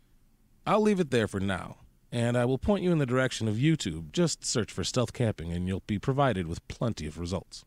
In summation, it's extremely important that this strategy be developed. Most folks are truly stuck in a city for whatever reason, but it doesn't mean they are unable to practice Vonu. Sure, it may be more difficult in some ways, but keep in mind, Vonu is not an all or nothing thing, nor is it black and white. Examine your current lifestyle and your goals in addition to what it would take to get you from where you are to where you want to be. Then make a plan and execute it. Chapter 12 Far Out Vonu Strategies. Obviously, the entire purpose of this book is to give you, the reader, practical strategies to increase your personal freedom. That said, there are a couple of H level MTH options Rayo proposed that are unlikely to come to fruition in our lifetime sovereign free ports, a libertarian country, seasteads, and spacesteads. Along with these distant possibilities comes a colored history of libertarianism that most ideological adherents are not familiar with. In August of 2017, I wrote up that history for Ocean Loving magazine, the magazine of the Mariana Project, now defunct, which I was the communication specialist for. Seasteading case studies, learning from the failed attempts of the past. For thousands of years, land has provided human beings the optimal headquarters for living. Resources were aplenty. Large amounts of real estate were available for homesteading, and individuals could develop as they saw fit. That is, until two important things happened. One, the advent of urbanization, or the corralling of large amounts of people into small areas, and two, various governments' jurisdictional claims to 99.9% of all land in the world, including the most obscure uninhabited islands. A large number of folks' subjective preferences led them to remain in the cities, but there are those seeking a return to the land in the form of off grid homesteading. They just want to be left alone with nature. But governments, tending to be the control freaks that they are, have a nasty habit of fining and evicting private property owners via nuisance abatement, i.e., local codes and ordinances. As Tom Marshall, Rayo, a freedom pioneer in the 1960s and 70s said, apply your free market principles by setting sail for sunnier waters. And he was right. The homesteading of the sea, seasteading, will play, and is playing, an inevitable role in the future of human freedom and survival. Mariana is but one such project looking to found a village at sea. The other one, with any notoriety, would be the Seasteading Institute. Little known, there were also a few attempts at founding new libertarian countries in the open ocean in the mid 20th century. For purposes of historical relevance as well as potential lessons for current and future seasteaders, let's take a look at their failed efforts to see where they went wrong. Author's note Due to the scarcity of resources at the time this article goes to press, specific years may not always be provided. The resources referenced are The Nation Builders Struggle, Brian Doherty's Radicals for Capitalism, Rayo's Vonu, The Search for Personal Freedom, Roy Halliday's Operation Atlantis, Erwin Strauss, How to Start Your Own Country, and some updates to the projects from Wikipedia. The Free Isles Project. The Free Isles Project was a venture that spawned out of the pre-form inform movement and the innovator libertarian zine in the 1960s. The goal was to conduct research on the efficacy of setting up a new libertarian country, solutions to potential obstacles, and the seemingly endless possibilities if it were to come to fruition. This project continued for a handful of years, but it never got past the talking stage. Eventually, the movement subsided after disagreements arose regarding the size and scope of government, the lack of individuals willing to become involved, and the potential ramifications from existing nation states. Nonetheless, the Free Isles Project seemed to be the origin of these ventures and influenced at least one, if not all, of the projects below. Operation Atlantis. From the outset, the Free Isles Project was just a research effort. The first actual attempt at bringing a new libertarian nation into fruition was Werner Stiefel's Operation Atlantis. The plan was laid out in three stages 1. Gather libertarians in a single location. 2 acquire an ocean vessel and declare it to be an independent nation while in international waters. And three, create an artificial island as close to the shores of the U.S. as international law will permit and Uncle Sam will tolerate. Furthermore, according to Brian Doherty in his book Radicals for Capitalism, their goal was to eventually obtain sovereignty over some island and turn it into a fresh new country. From there, they would have their base of operations and would start to build artificial platforms, which would hopefully coalesce into the actual objective a floating nation on the water. The location he chose for recruiting libertarians was a hotel he had purchased in Saugerties, New York, which is right on the Hudson River, giving them water access to the Atlantic Ocean. From scratch, they constructed a boat out of rebar and cement and set sail, only to have their vessel tip over and catch fire in the Hudson River. Persevering, they were able to navigate the vessels to the Silver Shoals area, near the Bahamas, where their ship sank. Luckily, Stiefel had already negotiated a 220 year lease for some land on the Haitian island Tortuga, with the agreed upon reason being for a small commercial chemical mixing plant. But once the Haitians learned of their plan to start a floating nation, from their own publication, President Jean Claude Duvalier drove them out of their area, as it had already been slated for other purposes. It is reported by Erwin Strauss, author of How to Start Your Own Country and visitor to the hotel, that Mr. Stiefel was approaching the enterprise as a Sunday afternoon diversion, while focusing most of his time and efforts on his pharmaceutical company. Strauss attributes that to one of the main reasons the dream of Atlantis died. Michael Oliver's The Capitalist Country. Michael Oliver was a Lithuanian born concentration camp survivor who set out to found the capitalist country in 1968. He investigated many areas for his new nation and attempted to solidify purchases of land from countries with little government, but it was to no avail until Minerva was founded in 1972. Oliver and his crew laid claim to two small coral atolls in the southern Pacific, 400 miles south of Fiji and 260 miles northeast of the Kingdom of Tonga. Notices were sent to nations that they began dredging, capping out at 15 acres before running out of investment capital, far below their goal of 2,500 acres. Doherty reports that the project was breaking apart over personal squabbling, and that Oliver was washing his hands of the whole thing. Surrounding island countries caught wind of the venture and understood the negative ramifications if it were allowed to succeed. Then, on February 23, 1972, a box of supplies was dropped labeled Supplied and Maintained by the Government of Tonga. The actions by the Tongan government were supported by many surrounding island countries, and in the blink of an eye, and with one gunvote, Minerva was conquered by the King of Tonga. After that, Oliver pursued other strategies in founding his nation until he finally returned to the original goal building artificial ocean cities.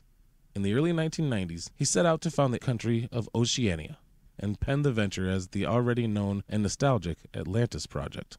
In less than a couple of years, it ended, and at oceania.org, it still reads The Atlantis Project, which proposed the creation of a floating sea city named Oceania, began in February of 1993, receiving nationwide publicity from the Art Bell Show, Details Magazine, the Miami Herald, Boating Magazine, and worldwide publicity in Canada, New Zealand, Hong Kong, England, and Belgium. The project ended in April of 1994.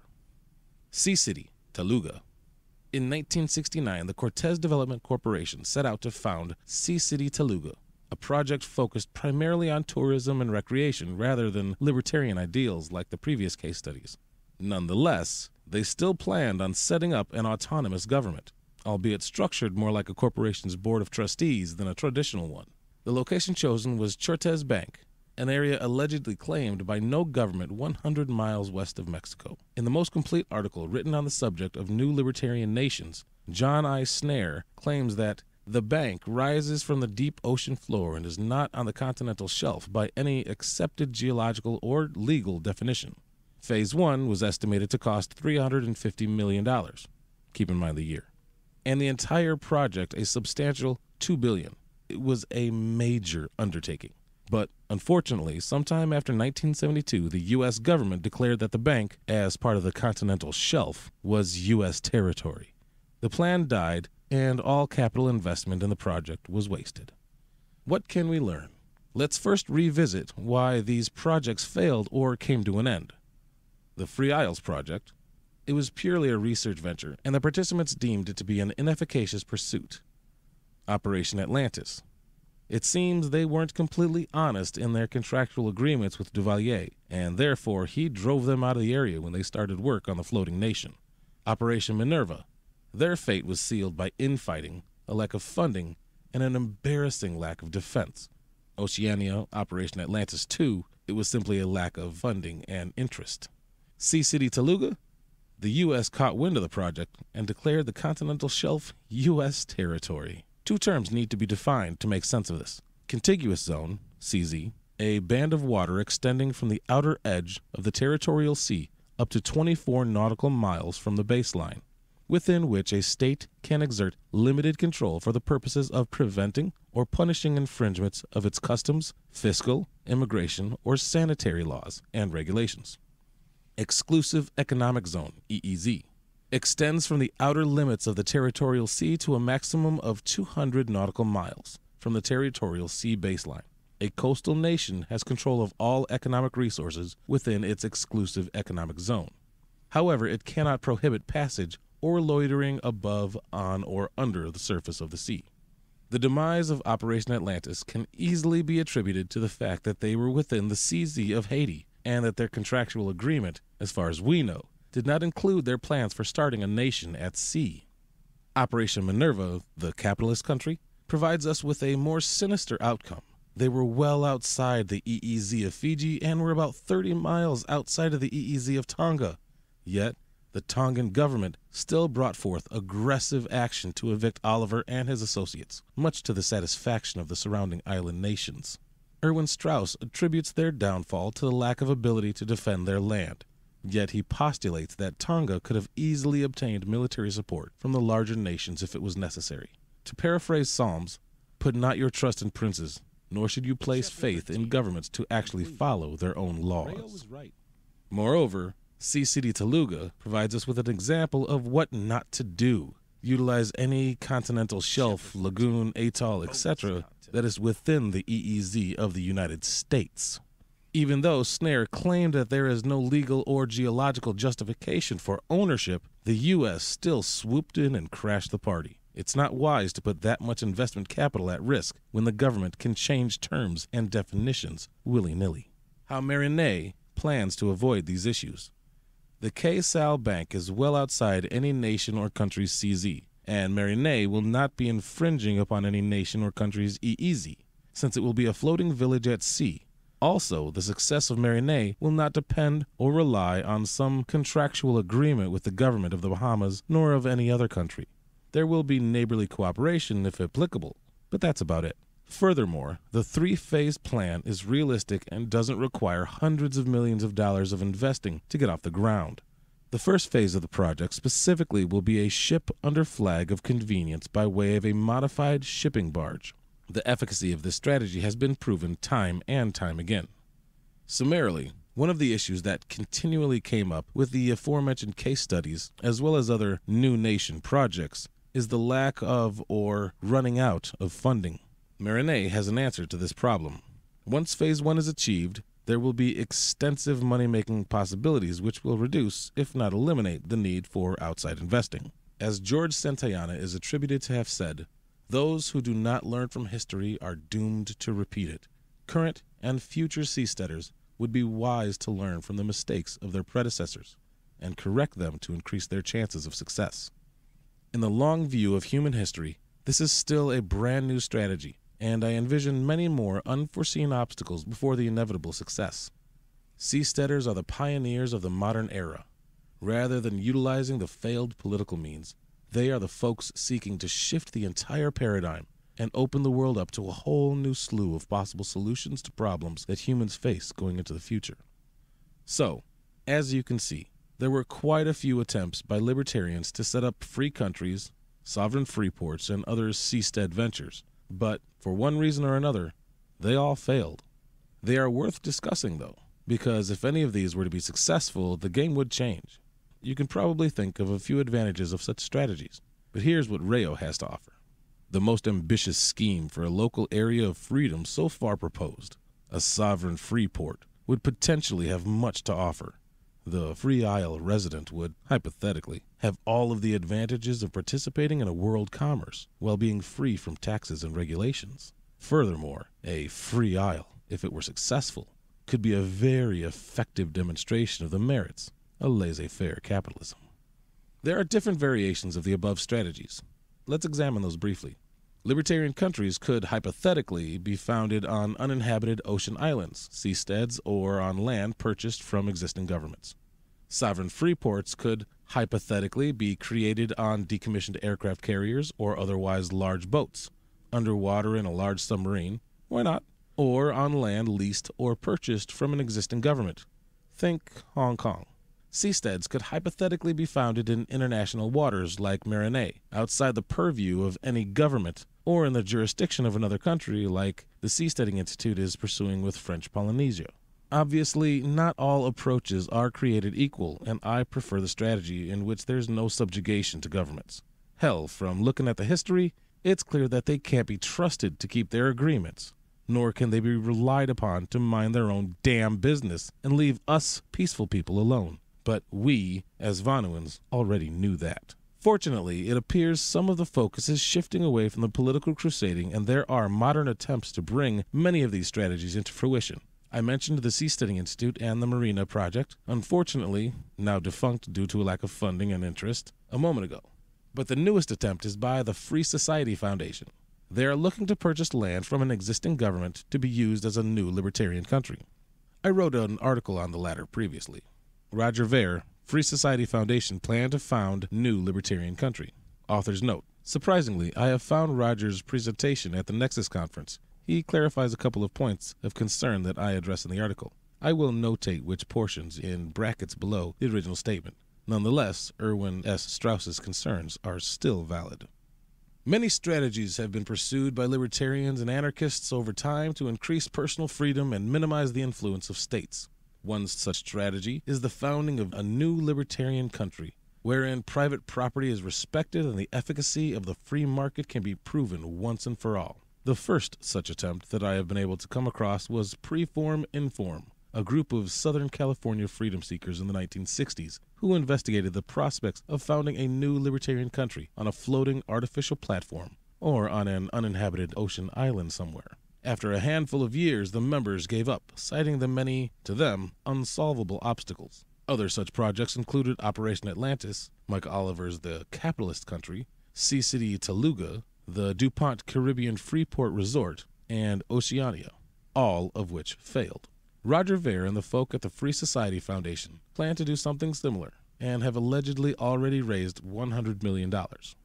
They claim that the solution to really gain sovereignty is to negotiate with an existing government by outright buying a piece of land from them. Their criteria for a location are proximity to existing economic powerhouses, accessibility by water, located in a safe, conflict free area, stable existing government, nations with a significant national debt, a flexible constitution that allows granting sovereignty, and acceptable minimum size for the land. As expected, the rule of law will be based on libertarian principles and free markets. That all seemed well and good, except for the fact that this has been tried before, and to no avail.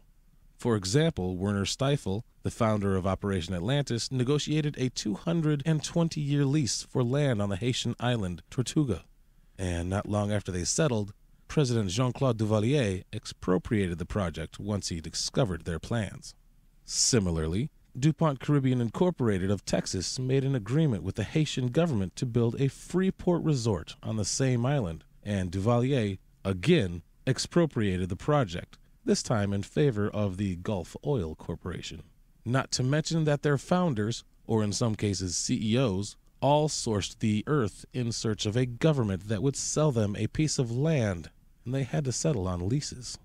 Erwin S. Strauss, the authority on new country projects in the 20th century, offers some valuable insights into the potentiality for a nation state or country selling a piece of land to freedom seekers in his book How to Start Your Own Country, 1979.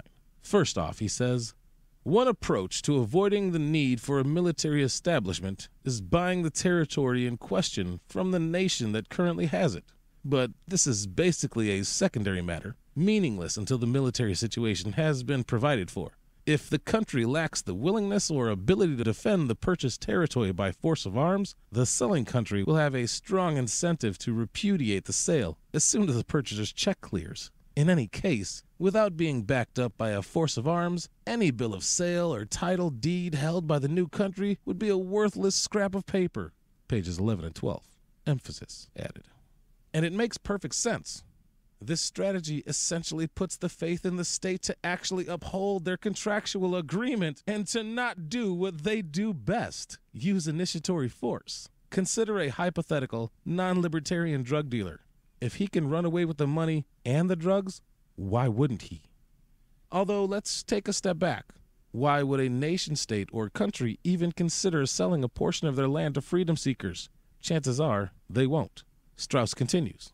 The closest thing to a sale of sovereignty that is conducted routinely is the sale of corporation charters and ship registrations to all comers, with minimum strings attached, by tax haven countries. But any number of those can be sold without reducing the size of the country doing the selling. Once the country is sold, there's no further income to be had.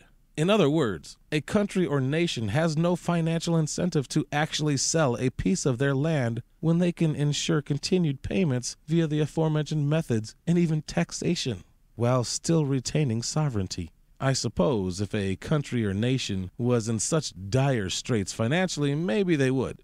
But that first excerpt from Strauss comes into play. Why wouldn't they just send their military to retake it after the fact? Strauss provides another interesting reason why countries are de incentivized from selling pieces of the land to country builders. There's also the great power influence. They have networks of grants and aid, favorable trade terms, military assistance programs, etc., to make it worth any small country's while to accommodate one or more of them. While these great powers want to see the status quo maintained, especially they want to see the number of countries held down. Because the fewer the players there are, the easier it is for the great powers to manage things to their own advantage. Pages 12 and 13. So, small countries are even further oh, dissuaded from selling off a portion of their land since they could face potentially deadly ramifications from the great powers. And the $100 million Ver and the Free Society Foundation have to work with is likely a drop in the bucket, considering how much stolen aid the great powers can provide. Also, consider the fact that there would be no vice crimes in Ancapistan, Libertopia, or whatever the hypothetical free society would be called. If it touched borders with an existing country or a nation state, you can guarantee there would be black marketeers running drugs, weapons, and other contraband into the abutting country. Author's update.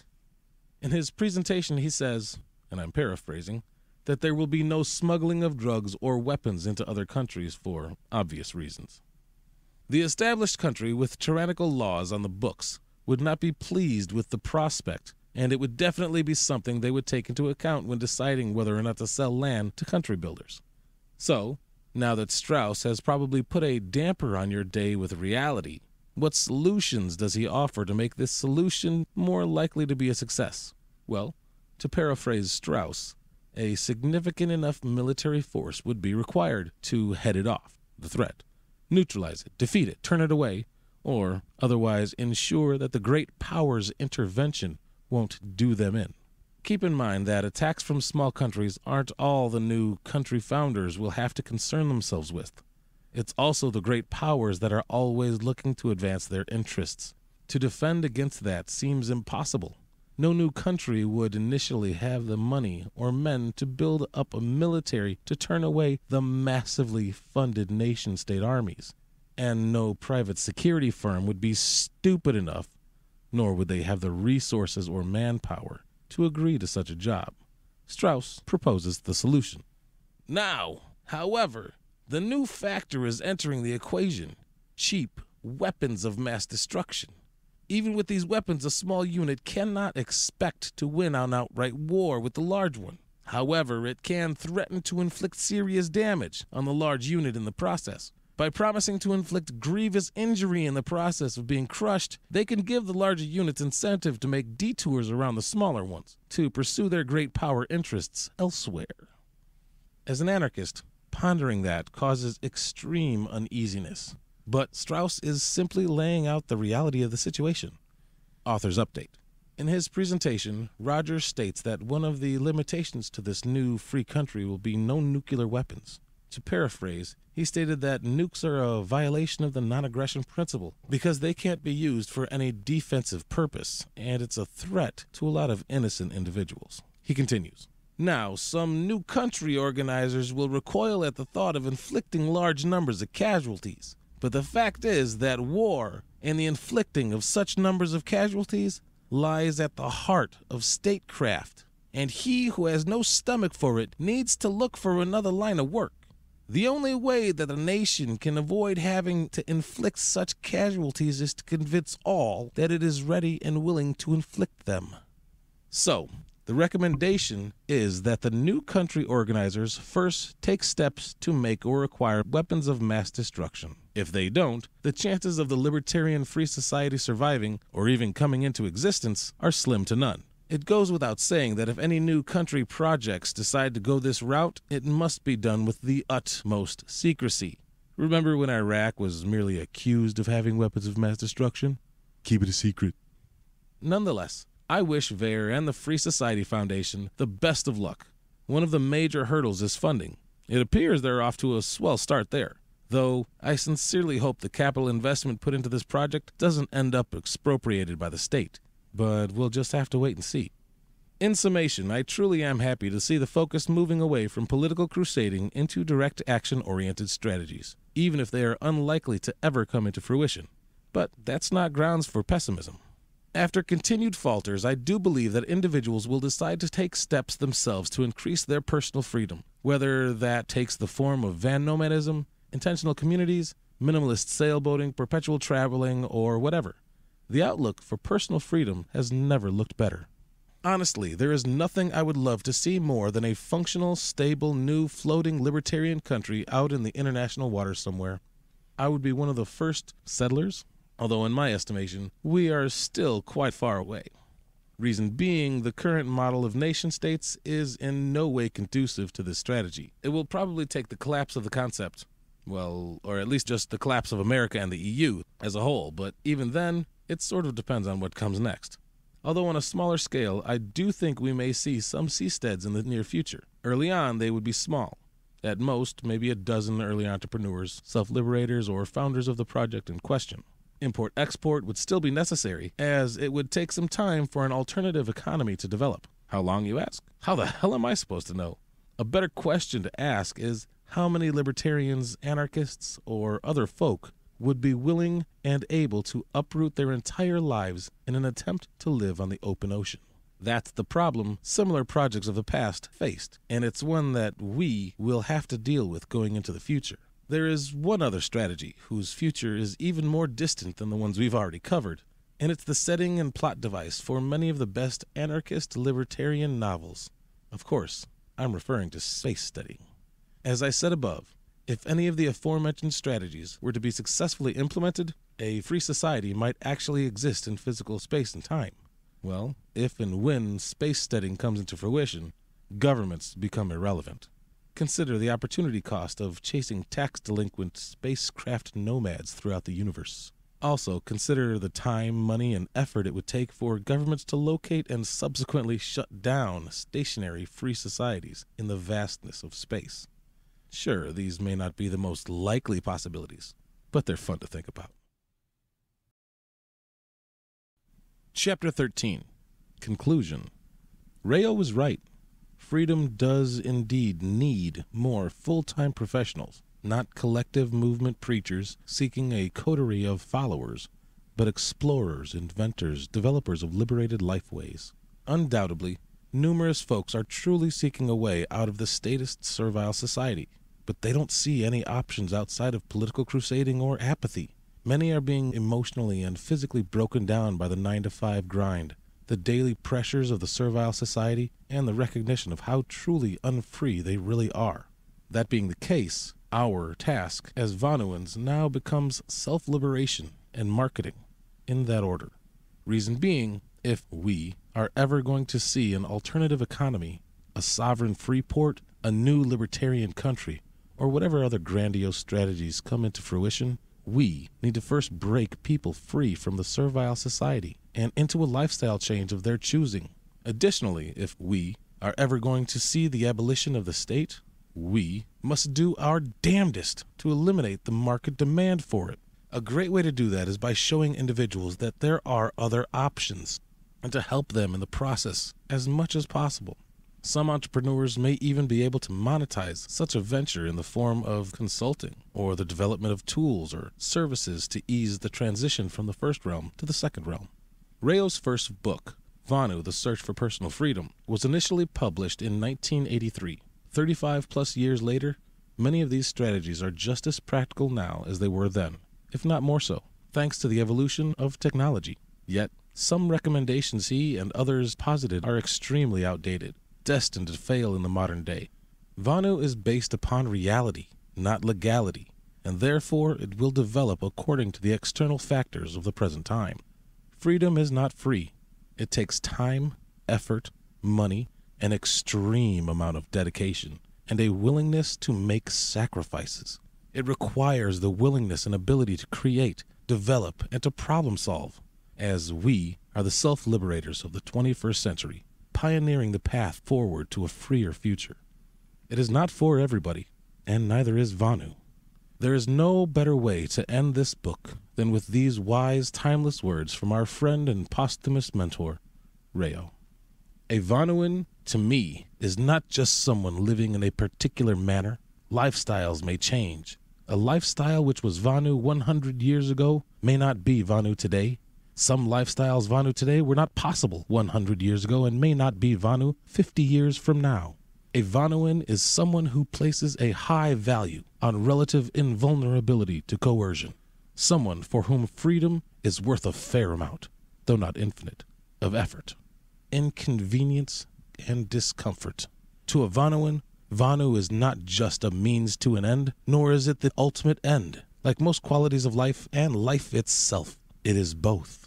A Vonuan will choose whatever way of living offers personal sovereignty and will change lifestyle again and again if necessary. Your free future is closer than you think. Chapter 14 Bonus Content An answer to the omnipotence of the state. There is little doubt that the state the institution whose sole function is to legitimately coerce and inflict violence upon others, makes a dangerous enemy. One must only look at certain events of the 20th century to verify this fact, although a look at the entirety of human history would paint a similar picture. Give a human being a position of great power, and inevitably they will become the worst type of dictator in short order. Give thousands upon thousands of these men and women parasitic positions, and you will have an entire institution of megalomaniacs. Therefore, when examining the scope of human history, it's no surprise that many have a tendency to deify the state and give it godlike characteristics omnipotent, omniscient, and omnipresent. While it's understandable, I will argue that this sort of mindset is not only unproductive for self liberators, but that it is also untrue because the state is largely incompetent. It's unproductive. When it comes to self liberation and alternative lifestyles, individuals in the statist servile society, and even some anarchists too, seem to always come up with an endless list of why such and such lifestyle is unpractical, unrealistic, unaffordable, crazy, downright stupid, or whatever. Considering the practicality of some of these lifestyles, it would seem to be the case that this reaction is a subconscious defense mechanism. Because, let's face it, human beings do inherently want to be free, but they tend to place as many barriers in the way as possible. Some people love their chains, some need them, and folks like me are eleutheromaniacs, maniacs for freedom. It reminds me of an article by Paul Rosenberg titled Nine Reasons People Fear Freedom from his book, A Lodging of Wayfaring Men. The first item on the list is fear of responsibility, and rightfully so.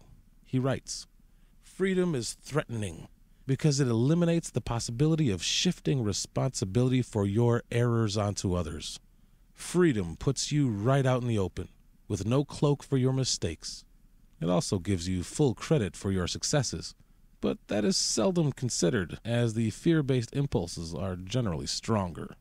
To be free means to accept personal responsibility for your life and your actions. That prospect is daunting for many who have become brainwashed and propagandized to depend upon the state. Similarly, I think this is another reason why some anarchists will elevate the state to this godlike status. Theists argue that God is here, has always been here, and will forever be here. So, if the state has been here forever and will continue to be here into infinity, then why the hell would we even try to fight it? Why even try to escape? Resistance is futile. Even if the above were true, that mindset is abhorrent and unproductive. It's a retreat to apathy. It's an excuse for laziness, and it really eliminates most of the purpose from a self liberator. If you will forever be a slave, regardless of the actions you take, is life really worth living? Maybe, but that sounds a bit depressing to me. For those who are freedom minded, but more so philosophically, i.e., Murray Rothbard, this sort of deification of the state leads them to believe that freedom can only happen in the long run, after enough minds have been changed. I can't be free until everyone else is free. With this controlled schizophrenia still largely intact, backsliding into political crusading is quite typical. Ah, Murray. Unfortunately, though, this mindset is quite predominant in the anarchist and libertarian community today. A bunch of people trying to philosophize their way to a free society. That alone will never be enough. Theory and action are a necessary duality. This is the role Vonu plays in the creation of a freer future.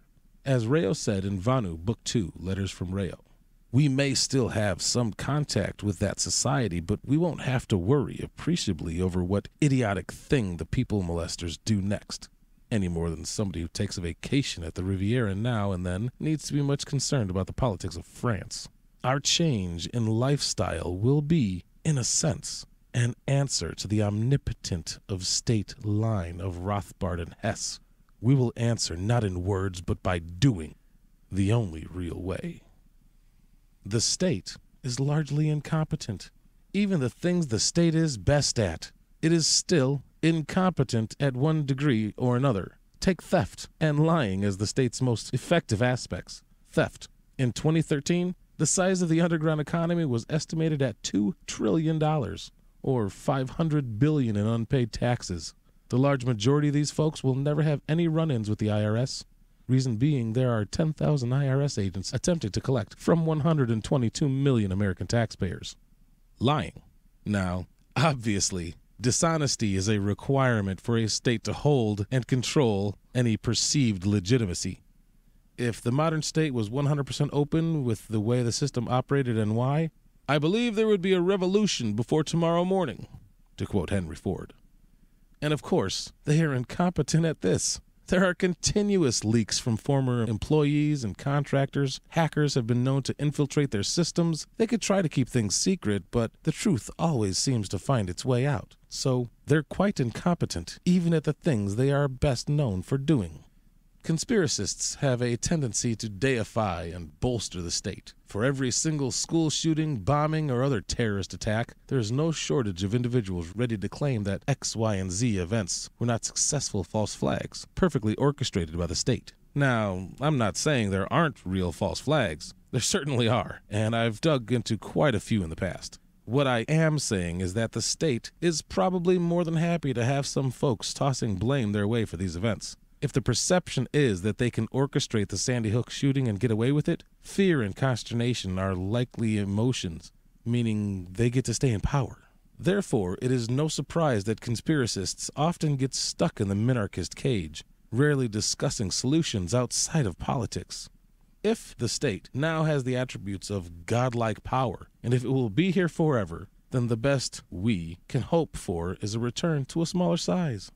Let's also consider the fact that 99% of government programs are complete and utter failures, at least when taken into context with the stated goal, i.e., war on drugs, terror, crime, poverty, the United States Postal Service, the Department of Motor Vehicles, just to name a few. Oh, the law of unintended consequences, that dreaded economic principle that despicable central planners can never escape from? Do any of these things sound akin to godlike characteristics? I don't think so. So, yes, the omnipotence of state line of Rothbard and Hess is riddled with issues. First, it's unproductive, and second, the state's largely incompetent, even at the things it does best. Is it still a dangerous enemy? You bet your ass it is, and self liberators should not ignore this fact.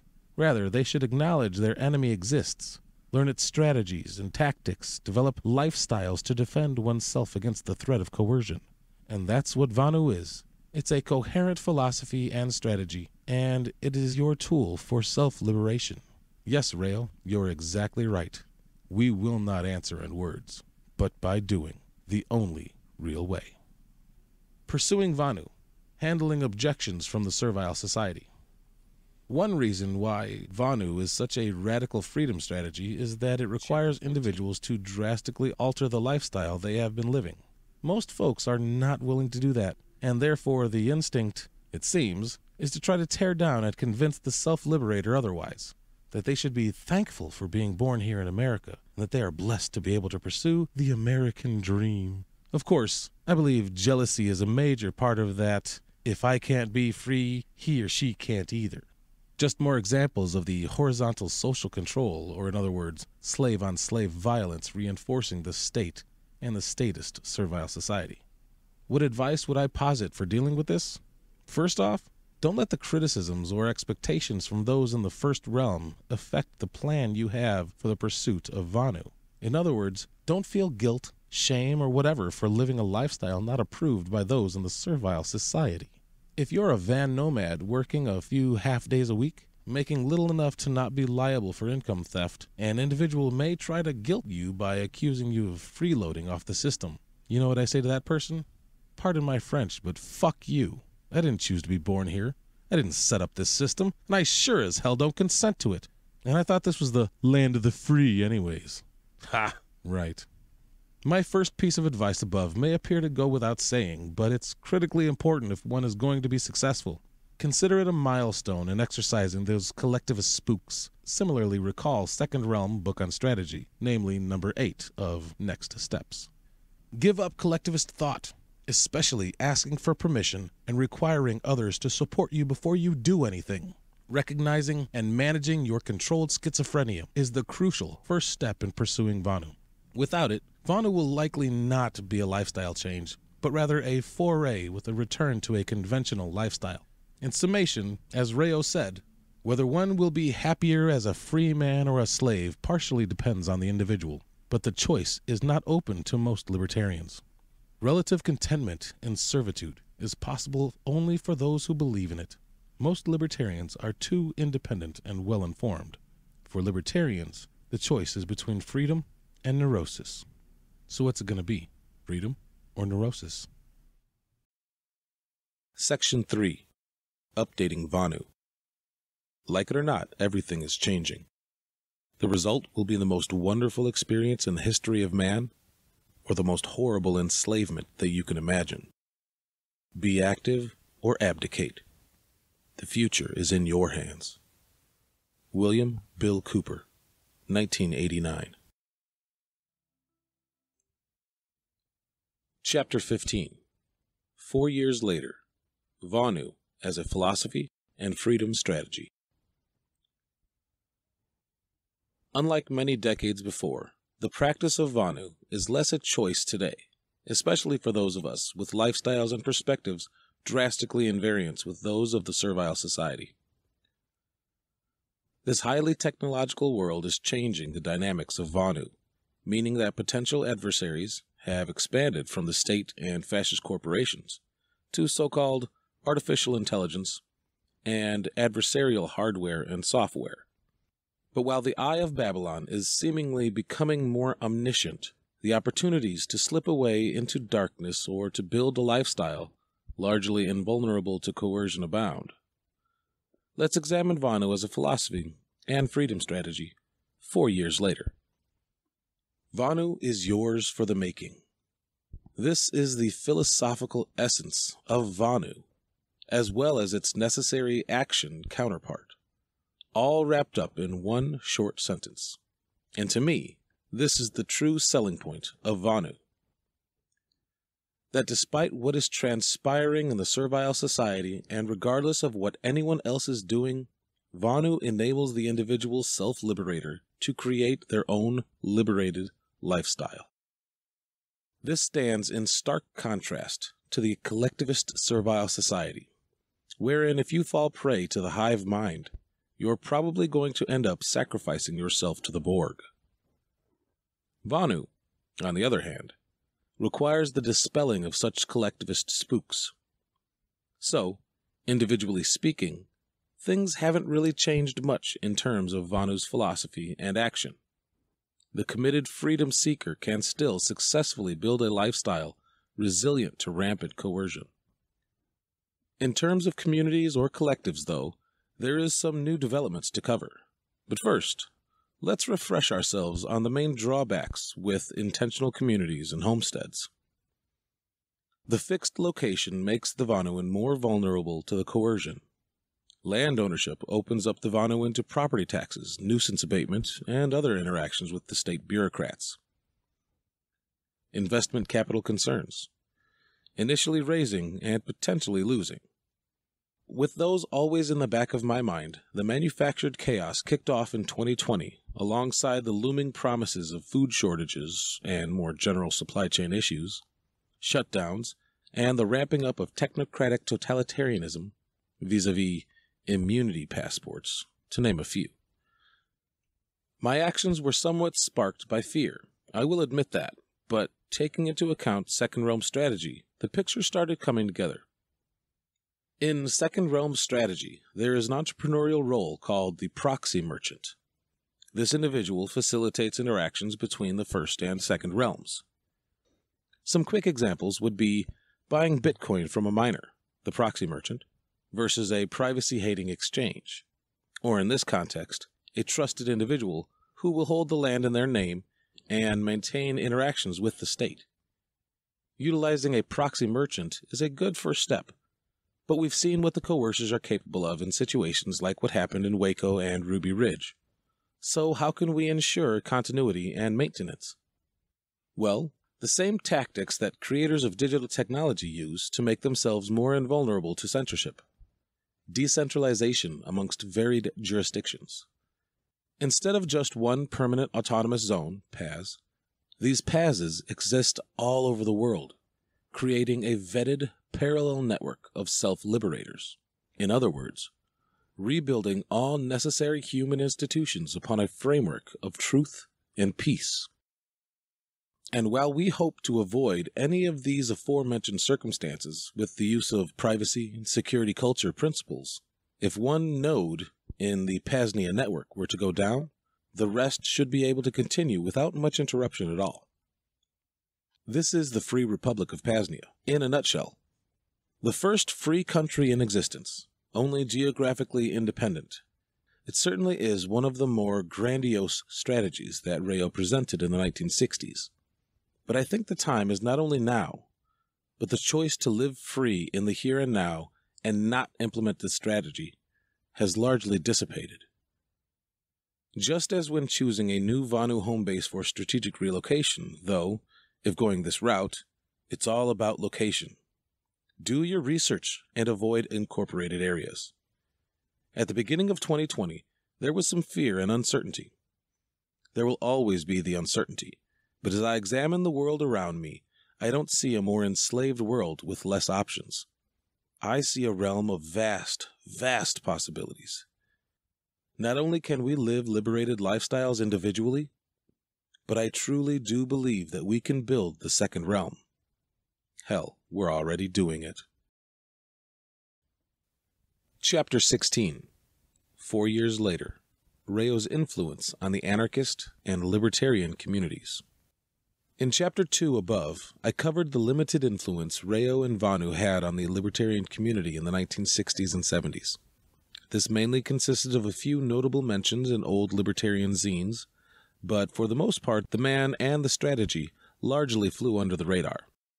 Further, Rayo almost undoubtedly influenced Samuel Edward Konkin III in his formation of agorism and what he called ethical enclave trading back in the late 1960s.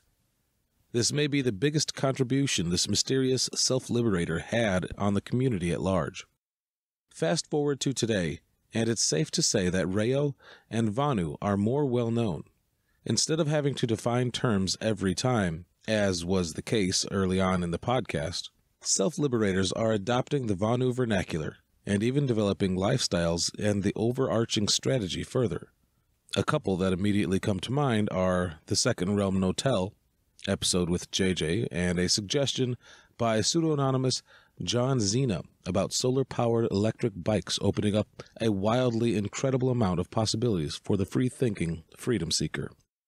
Many freedom pioneers I know have hit the road as van nomads, more and more are seeing the value of the hardcore security culture Vonuans practice, whether the gray man in the physical realm or crypto anarchy tactics to guard privacy in the digital. And the Vonu podcast even got a plug and link from the Washington Post after the unfortunate murder of John Galton. I'm sure there's additional developments, but I'm quite happy with this progress so far. A few years back, I got in contact with Jim Stumm and was able to conduct an interview with him, the man who met Rayo. And while Jim only met him once and roughly 50 years ago, this insight certainly helped to paint a more vivacious picture of Tom Marshall. Jim was also gracious enough to mail me his entire archive of Vonu libertarian zines from the last 50 plus years. At some point, too, Expect the Journey of a Self Liberator, tentative title, with all of Rayo's articles laid out in chronological order. What will Vanu and the realm of self liberation look like in another four years? The answer to that question largely depends on you. Chapter 17 Country Shoppers The sovereign individual is internationally flexible. Instead of the scam of political crusading, vote with your feet and partake in some country shopping. Rayo himself foresaw this opportunity back in the 1960s and I believe likely made use of it throughout his journey as a self liberator. That is, contract engineering jobs while the income was high, and spending and living where the government coercion was low. He mentioned working in the USSA and living in the tropical island countries in regards to this tactic. He also split time between the U.S. and Canada in his tent and van, making use of the advantages within various jurisdictions. A few decades later, a book titled The Sovereign Individual was published, which further highlighted the prospects with the dawning of the computer and internet age. They argue that evolutions in humanity have occurred alongside shifts in the control of violence, and that up until recently, these de evolutions have tended to fall on the side of tyranny and collectivism, rather than that of freedom, free will, nature, and a respect for the individual. Although in the information age, where information, value, and culture are spread freely among wires or through the ether, larger possibilities come into purview, and individual solutions become near certainties. It's at this juncture that I'd like to introduce the term internationally flexible, contrasted with internationally mobile. When Rayo used the term internationally mobile, it most definitely meant currently living such a perpetually traveling lifestyle. Being internationally flexible, on the other hand, entails having the ability both legally and practically to make a quick relocation across jurisdictions, while remaining stationary in dwelling for as long as is possible or desired. For example, having a converted van with Mexican registration ready to go, prepared for the eventuality of having to head for the border. And speaking from experience, direct or indirect, I won't clarify, official Mexican government documentation is not hard to obtain. For a few hundred dollars, a self liberator could get a valid Mexican driver's license, maybe even a Class B chauffeur's license, which would usually require additional training and certifications here in the USSA. Along with the driver's license comes a receipt from the local Mexican authority, further verifying the veracity of the ID, and for a decent amount more, cost wise, valid Mexican car registration can be obtained. At this point, let's walk through a thought experiment, and that's all this is you have the valid Mexican issued driver's license and are hoping to obtain, say, a Mexican passport. That's a little more difficult to do, all legally and above the board. Good news. There are long standing websites on the deep web that offer exactly that. With 99.9% verifiable reputation, it would cost you $1,200.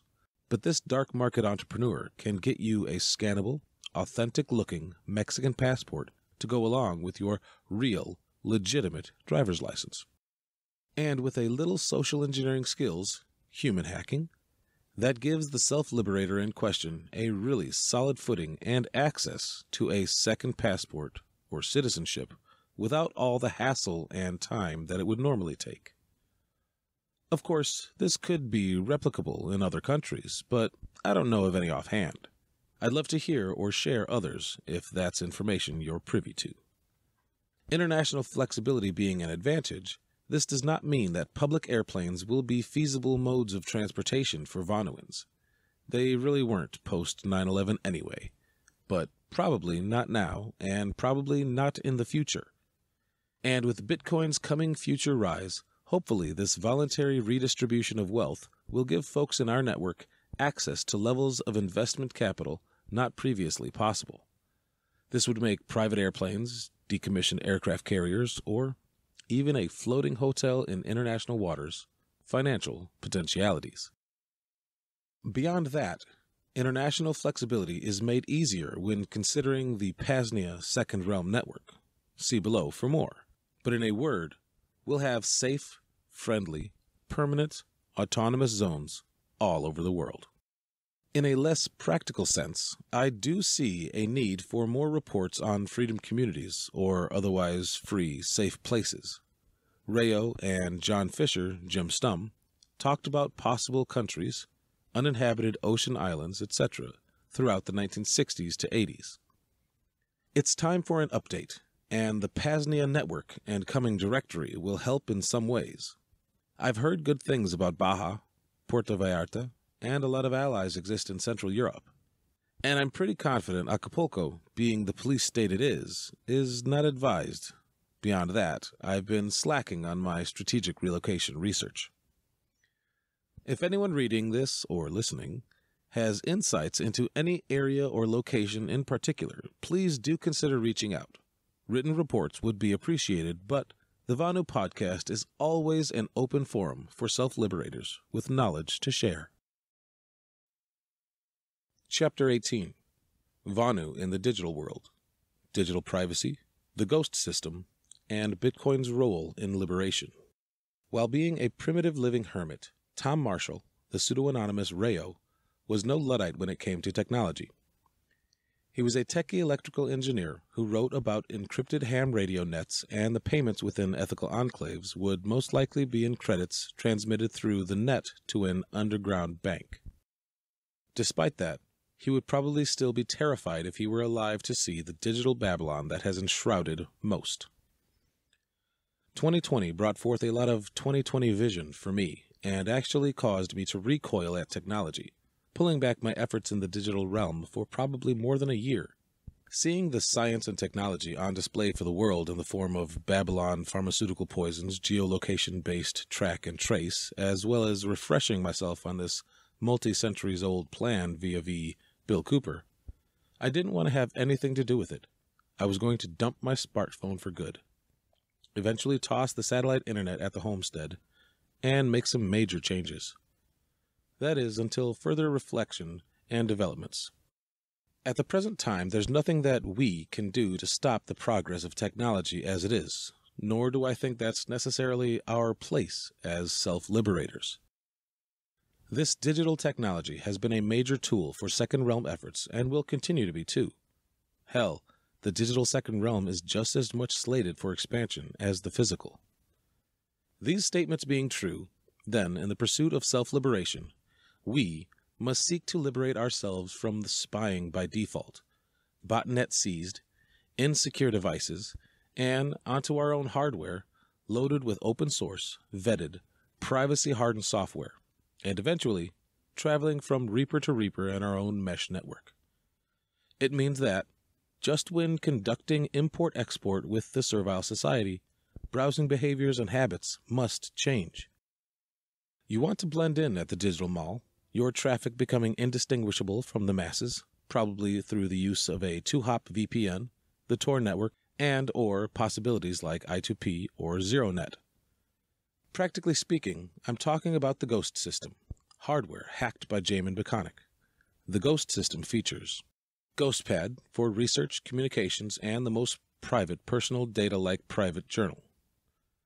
Ghost Phone for maximum mobile autonomy. Ghostbox or FreedomBox for self hosted services like secure messaging, private search engine, and advanced network wide ad and tracker filtering. Ghost Station for gaming and content creation. Ghostbox Sentinel, network security system with Pi Alert and Pi Hole. Ghost Router to secure your network from outside threats. Ghost Vault NAS to store and serve media. Ghost Stream Entertainment System as a smart TV replacement. Ghost Eye surveillance and security system. While there's no perfect solution to the hyperdynamic internet, these hardware and software solutions give you essentially the best privacy and security possible, especially at this user friendliness level. Please note this is all free and open source software, so you can install all these on your own hardware, but soon Jamin will eventually offer the entire Ghost system for those like me who want the hard work done for them. This can all understandably seem overwhelming, but this is what needs to be done. We must own our own shit and start building our own secure infrastructure. Beyond that, plans are in the works to build our own trusted, vetted, and decentralized Tor VPN network, which will mitigate some of the riskiest hurdles of Tor, i.e., hijacked exit nodes likely operated by the NSA. This brings forth the liberating potentialities of Bitcoin, BTC especially when paired with a similar mindset. Running a full node and becoming proficient with software implementations like non custodial coin joins make on chain privacy an actual reality. For me, I'm striving to bring my actions in alignment with my principles, and using fraudulent government fiat currency as little as possible is the objective. These above privacy innovations and ease of spending Bitcoin i.e., no KYC Bitcoin debit cards that work anywhere Visa is accepted, gift cards, or any place you could desire to spend money, etc., solidify one of Bitcoin's features of enabling a self liberator to totally route around First Realm institutions. Earn Bitcoin, CoinJoin Bitcoin, spend Bitcoin, save Bitcoin. It's truly a beautiful cycle. In conclusion, my preference would honestly be to toss out most of my digital devices and work towards a minimalist digital lifestyle. Unfortunately, I don't see that as being totally possible. But what I do see as possible is using these tools in a self liberating capacity to advance the second realm for as long as they're feasible. And when things begin to look untenable as adaptive self liberators, we will change our lifestyle again and again to achieve our goals. Chapter 19 The Free Republic of PAZNIA, a network of ethical enclaves. The Model Country. Back in the mid 20th century, libertarian new country pioneer Erwin S. Strauss, who is still around and who still runs the Libertarian Connection, wrote about the idea of a model country in his book, How to Start Your Own Country. Therein, he posits Many find it a rewarding hobby to run a model railroad or operate model airplanes. These model enterprises have all the trappings of the real thing, in miniature. Similarly, it is possible to run a model country. You need only declare your home to be an independent nation and proceed from there. The Free Republic of PAZNIA is the newest iteration of this concept, our mission of truly founding the first free country.